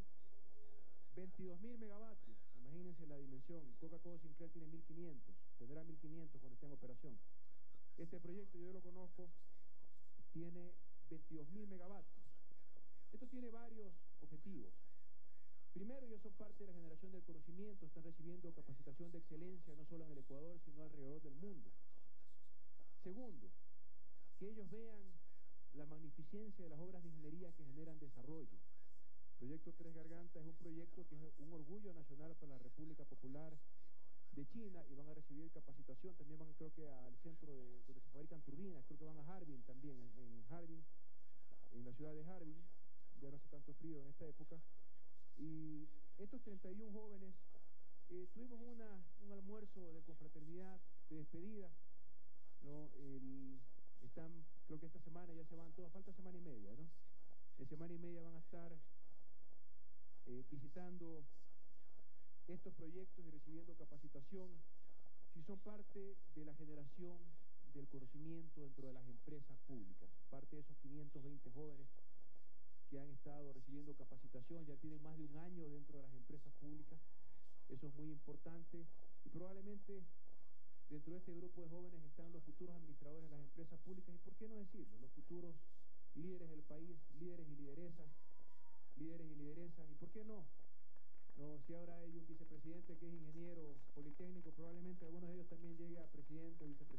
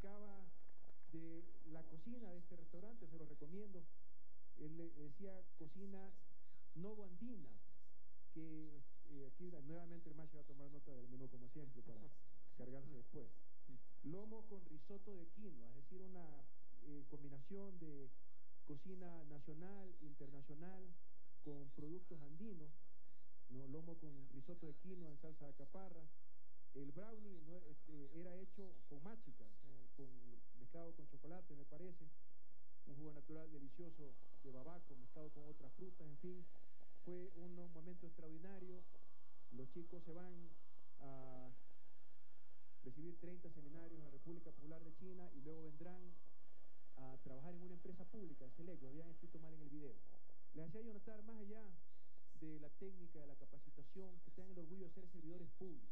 Es un enorme privilegio trabajar para todos.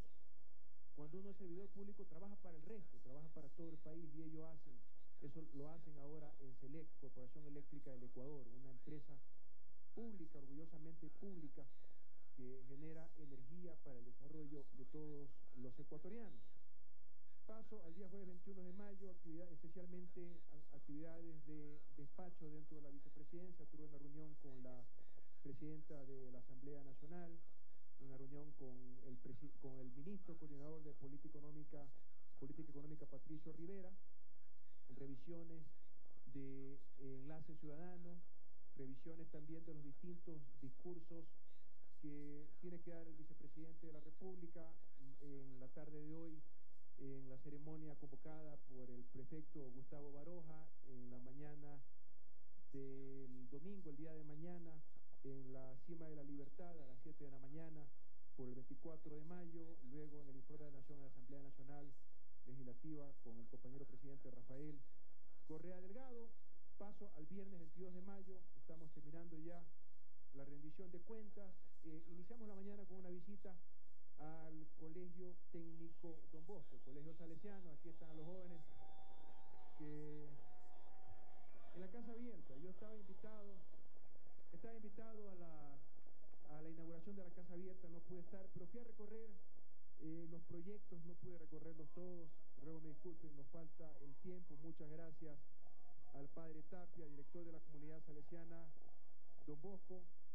Muchas gracias al rector del colegio, a Víctor Orquera, a Fausto Méndez, vicerrector del Colegio Técnico Salesiano Don Bosco, a todos sus estudiantes, a los padres de familia que se encontraban presentes, a los profesores, profesoras. Recorrí las instalaciones, creo que tenemos imágenes de apoyo.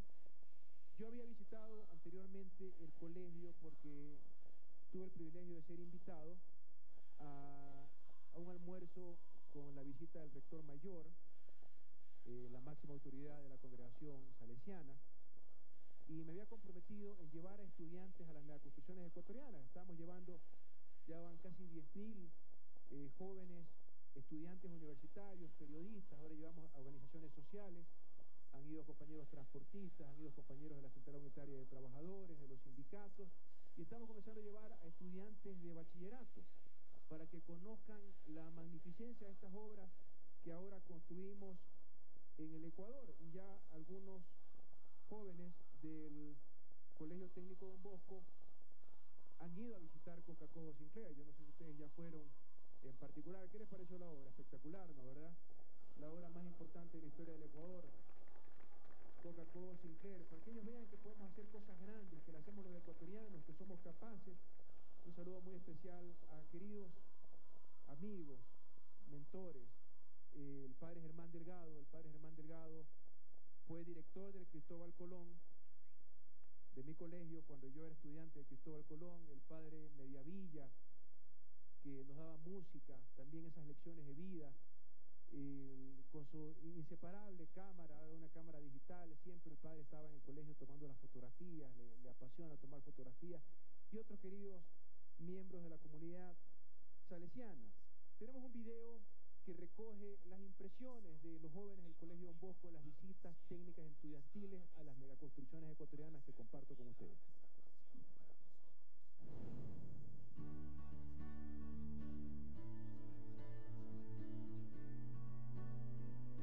Como parte de la política de transparencia de la obra pública que lleva adelante el gobierno nacional y para la formación de los nuevos profesionales, la Vicepresidencia de la República invita a estudiantes de universidades, colegios y grupos sociales a conocer las megaconstrucciones. En promedio se realizan 120 visitas al mes. En esta semana, 160 alumnos del Colegio Técnico Don Bosco de Quito viajaron a la hidroeléctrica Coca-Cola Sinclair. El proyecto está muy majestuoso. Me he dado cuenta de que el país está produciendo cada vez más. Con el nuevo gobierno está desarrollando nuevas tasas de empleo, está desarrollando energía que para un futuro va a ser muy necesario, muy sostenible y muy rentable. La visita se convierte en una clase práctica. Los alumnos recibieron de parte de los técnicos de Coca-Cola Sinclair las explicaciones sobre cómo esta mega construcción producirá hidroelectricidad cuando esté terminada el próximo año. Me impresionó el funcionamiento, cómo el agua ayuda a ceder el proceso en las turbinas para que se pueda crear la energía renovable y ya no depender de otros países, sino depender de nuestra propia energía y así poder vender a otros países. Este gobierno se han creado varias hidroeléctricas. Esta ha sido la más grande, entonces eso es lo que me impacta. Ya conozco lo que muchas personas de mi especialidad aún no conocen, entonces eso me vendría a ayudar mucho a futuro. Hay un desarrollo gracias a este gobierno. Esta visita me ayuda a entender que prepararse técnicamente es muy necesario para aportar con nuestro conocimiento, aportar con nuestras habilidades en un futuro.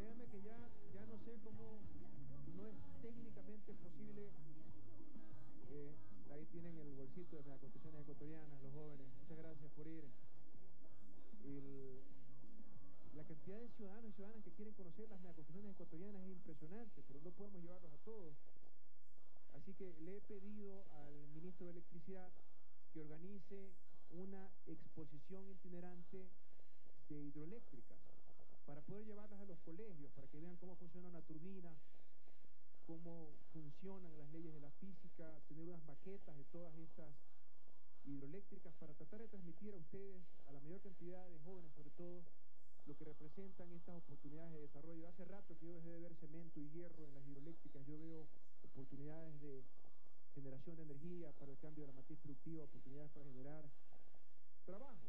Tenemos unas imágenes de algunos proyectos muy interesantes de tecnología, de tecnologías de la información y la comunicación, de metalmecánica, de la industria metalmecánica. Vamos a ver el potencial de la industria metalmecánica también en los cementos más adelante.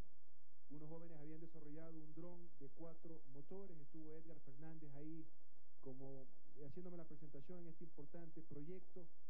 Había unos proyectos que mostraban las maravillas del país, con, con qué entusiasmo le presentaban los estudiantes al vicepresidente.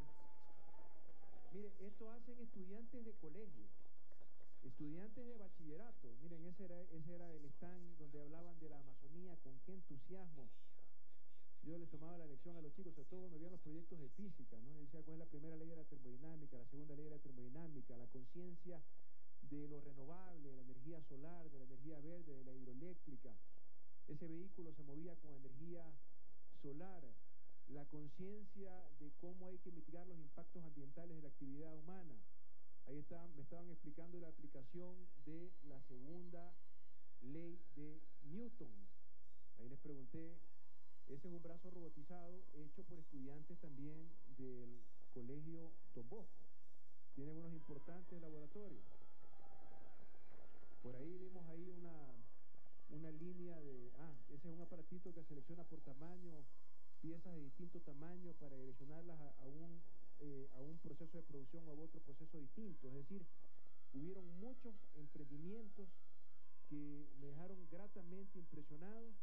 Eh, este es un, eh, un sensor para parqueo, una línea de producción con sensores de distinta naturaleza, para una línea de producción o línea de montaje. Es decir, eh, hay una gran capacidad de, en el colegio, en la formación de sus estudiantes, y hay una gran, un gran entusiasmo, por parte del padre Germán Delgado, un abrazo para el padre Delgado, hay un gran entusiasmo de los jóvenes por aprender más siendo emprendedores siendo innovadores. Esto es muy importante. Desde el colegio, lo que decía al inicio de la presentación de este enlace ciudadano, desde el colegio la capacidad de innovar, de crear, de producir, que ya está en la mente de los jóvenes estudiantes, ese es un eh, aplicación de tecnología neumática para una retroexcavadora, hecho también por los estudiantes, es decir, eh, felicitaciones, felicitaciones a todas las autoridades del colegio, en particular a todos los estudiantes, me faltan algunos chicos todavía que vayan a Coca-Cola Sinclair, lo vamos a hacer, y vamos a hacer esa feria itinerante de hidroeléctricas y proyectos multipropósitos, ¿qué le parece? Para que vayan a recorrer los colegios. Gracias a todos, gracias a los padres de familia, gracias al cuerpo docente del colegio, gracias a toda la comunidad salesiana. Regresamos a la oficina, actividades de despacho, nuevamente a revisar los discursos de la sesión solemne de la prefectura, que es ahora en la tarde en la sede de UNASUR, en la explanada de UNASUR.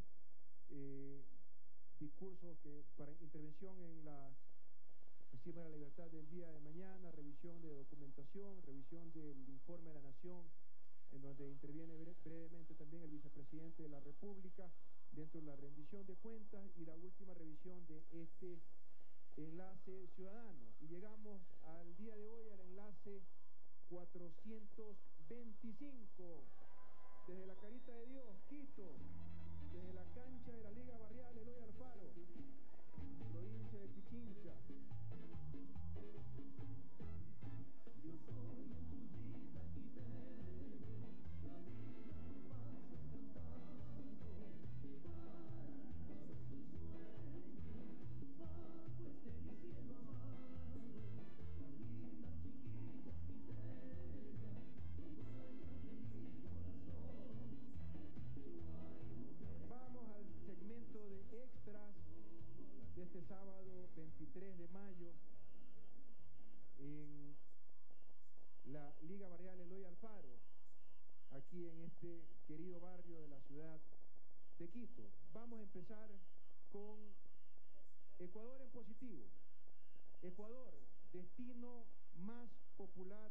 Sudamérica según la red de viajes. El Ecuador, potencia turística. Adelante con este video.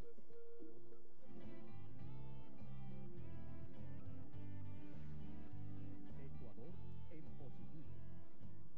El Ecuador cuenta con más de 1.600 especies de aves, más de 50 playas ideales para el descanso, un laboratorio natural único en el mundo. Cuenta también con actividades recreativas que incluyen deportes extremos, un tren de lujo que atraviesa el Ecuador. Estas y otras razones evidencian la riqueza y biodiversidad de un país que tiene cuatro mundos en uno. Precisamente por esta razón, Ecuador se ha convertido en un destino de constante crecimiento a escala internacional.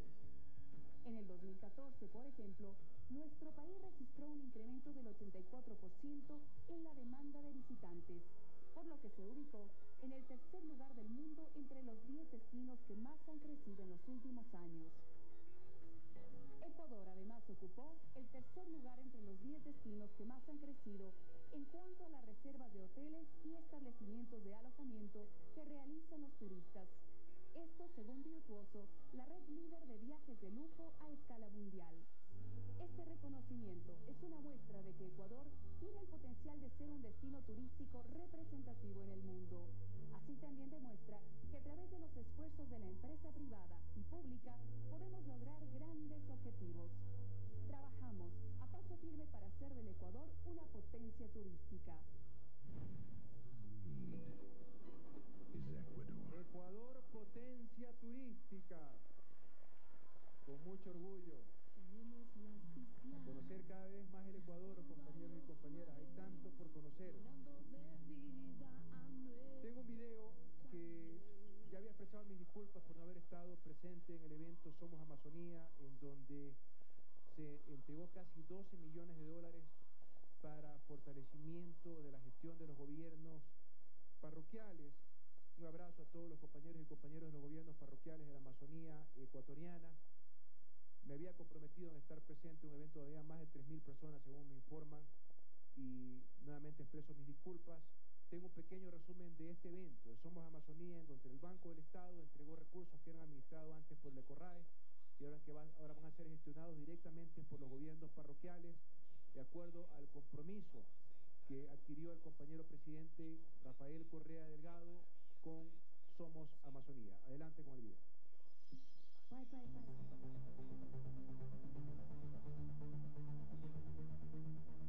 Jueves 21 de mayo, el Gobierno Nacional, a través del Banco del Estado, entregó 11.9 millones de dólares a 132 gobiernos autónomos descentralizados parroquiales rurales de las provincias de Napo, Sucumbíos, Orellana, Pastaza, Morona Santiago y Zamora Chinchipe. Estos fondos no reembolsables serán destinados a la realización de proyectos de inversión y es un reconocimiento a las juntas parroquiales rurales en la construcción del proyecto gubernamental de crecimiento regional y de erradicación de la pobreza. Estos recursos corresponden al 7% del presupuesto del Fondo para el Ecodesarrollo Regional Amazónico, ECORAE, por efecto de los ingresos provenientes del impuesto equivalente a un dólar por cada barril de petróleo que se extraiga de la Amazonía. Saben que hay un gobierno que cumple su palabra, que actúa con profunda responsabilidad con el medio ambiente, que sabe que tiene que haber un aprovechamiento responsable de nuestros recursos naturales no renovables, pero que lo más importante es la naturaleza. Son ustedes, ciudadanos y ciudadanas amazónicas. Somos Amazonía en Orellana y hoy nos ratificamos somos Amazonía en esta querida ciudad de Tena. Y cuando yo me acerqué me dijo, Carlos,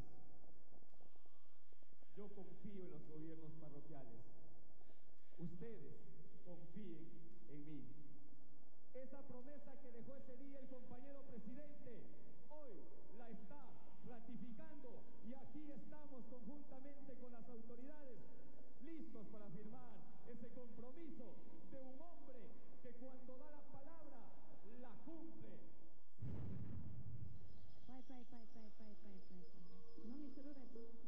Un abrazo para todos, compañeros y compañeras de Somos Amazonía. Estaré pronto recorriendo nuevamente la Amazonía, viendo cómo generamos más desarrollo. Vamos al video de Ecuador Innova. Un Ecuador eléctrico, un, perdón, un, un auto eléctrico, ya lo vimos hace pocos instantes, realizado por innovadores y emprendedores ecuatorianos. Un auto que antes utilizaba un motor con hidrocarburos que ahora utiliza electricidad. Esa gran ventaja que tiene el Ecuador, ventaja comparativa, es que tenemos energía barata, energía renovable con el medio ambiente, responsable con el medio ambiente, energía renovable, energía que no contamina. Adelante con el video de Ecuador Innova, autos eléctricos en Ecuador.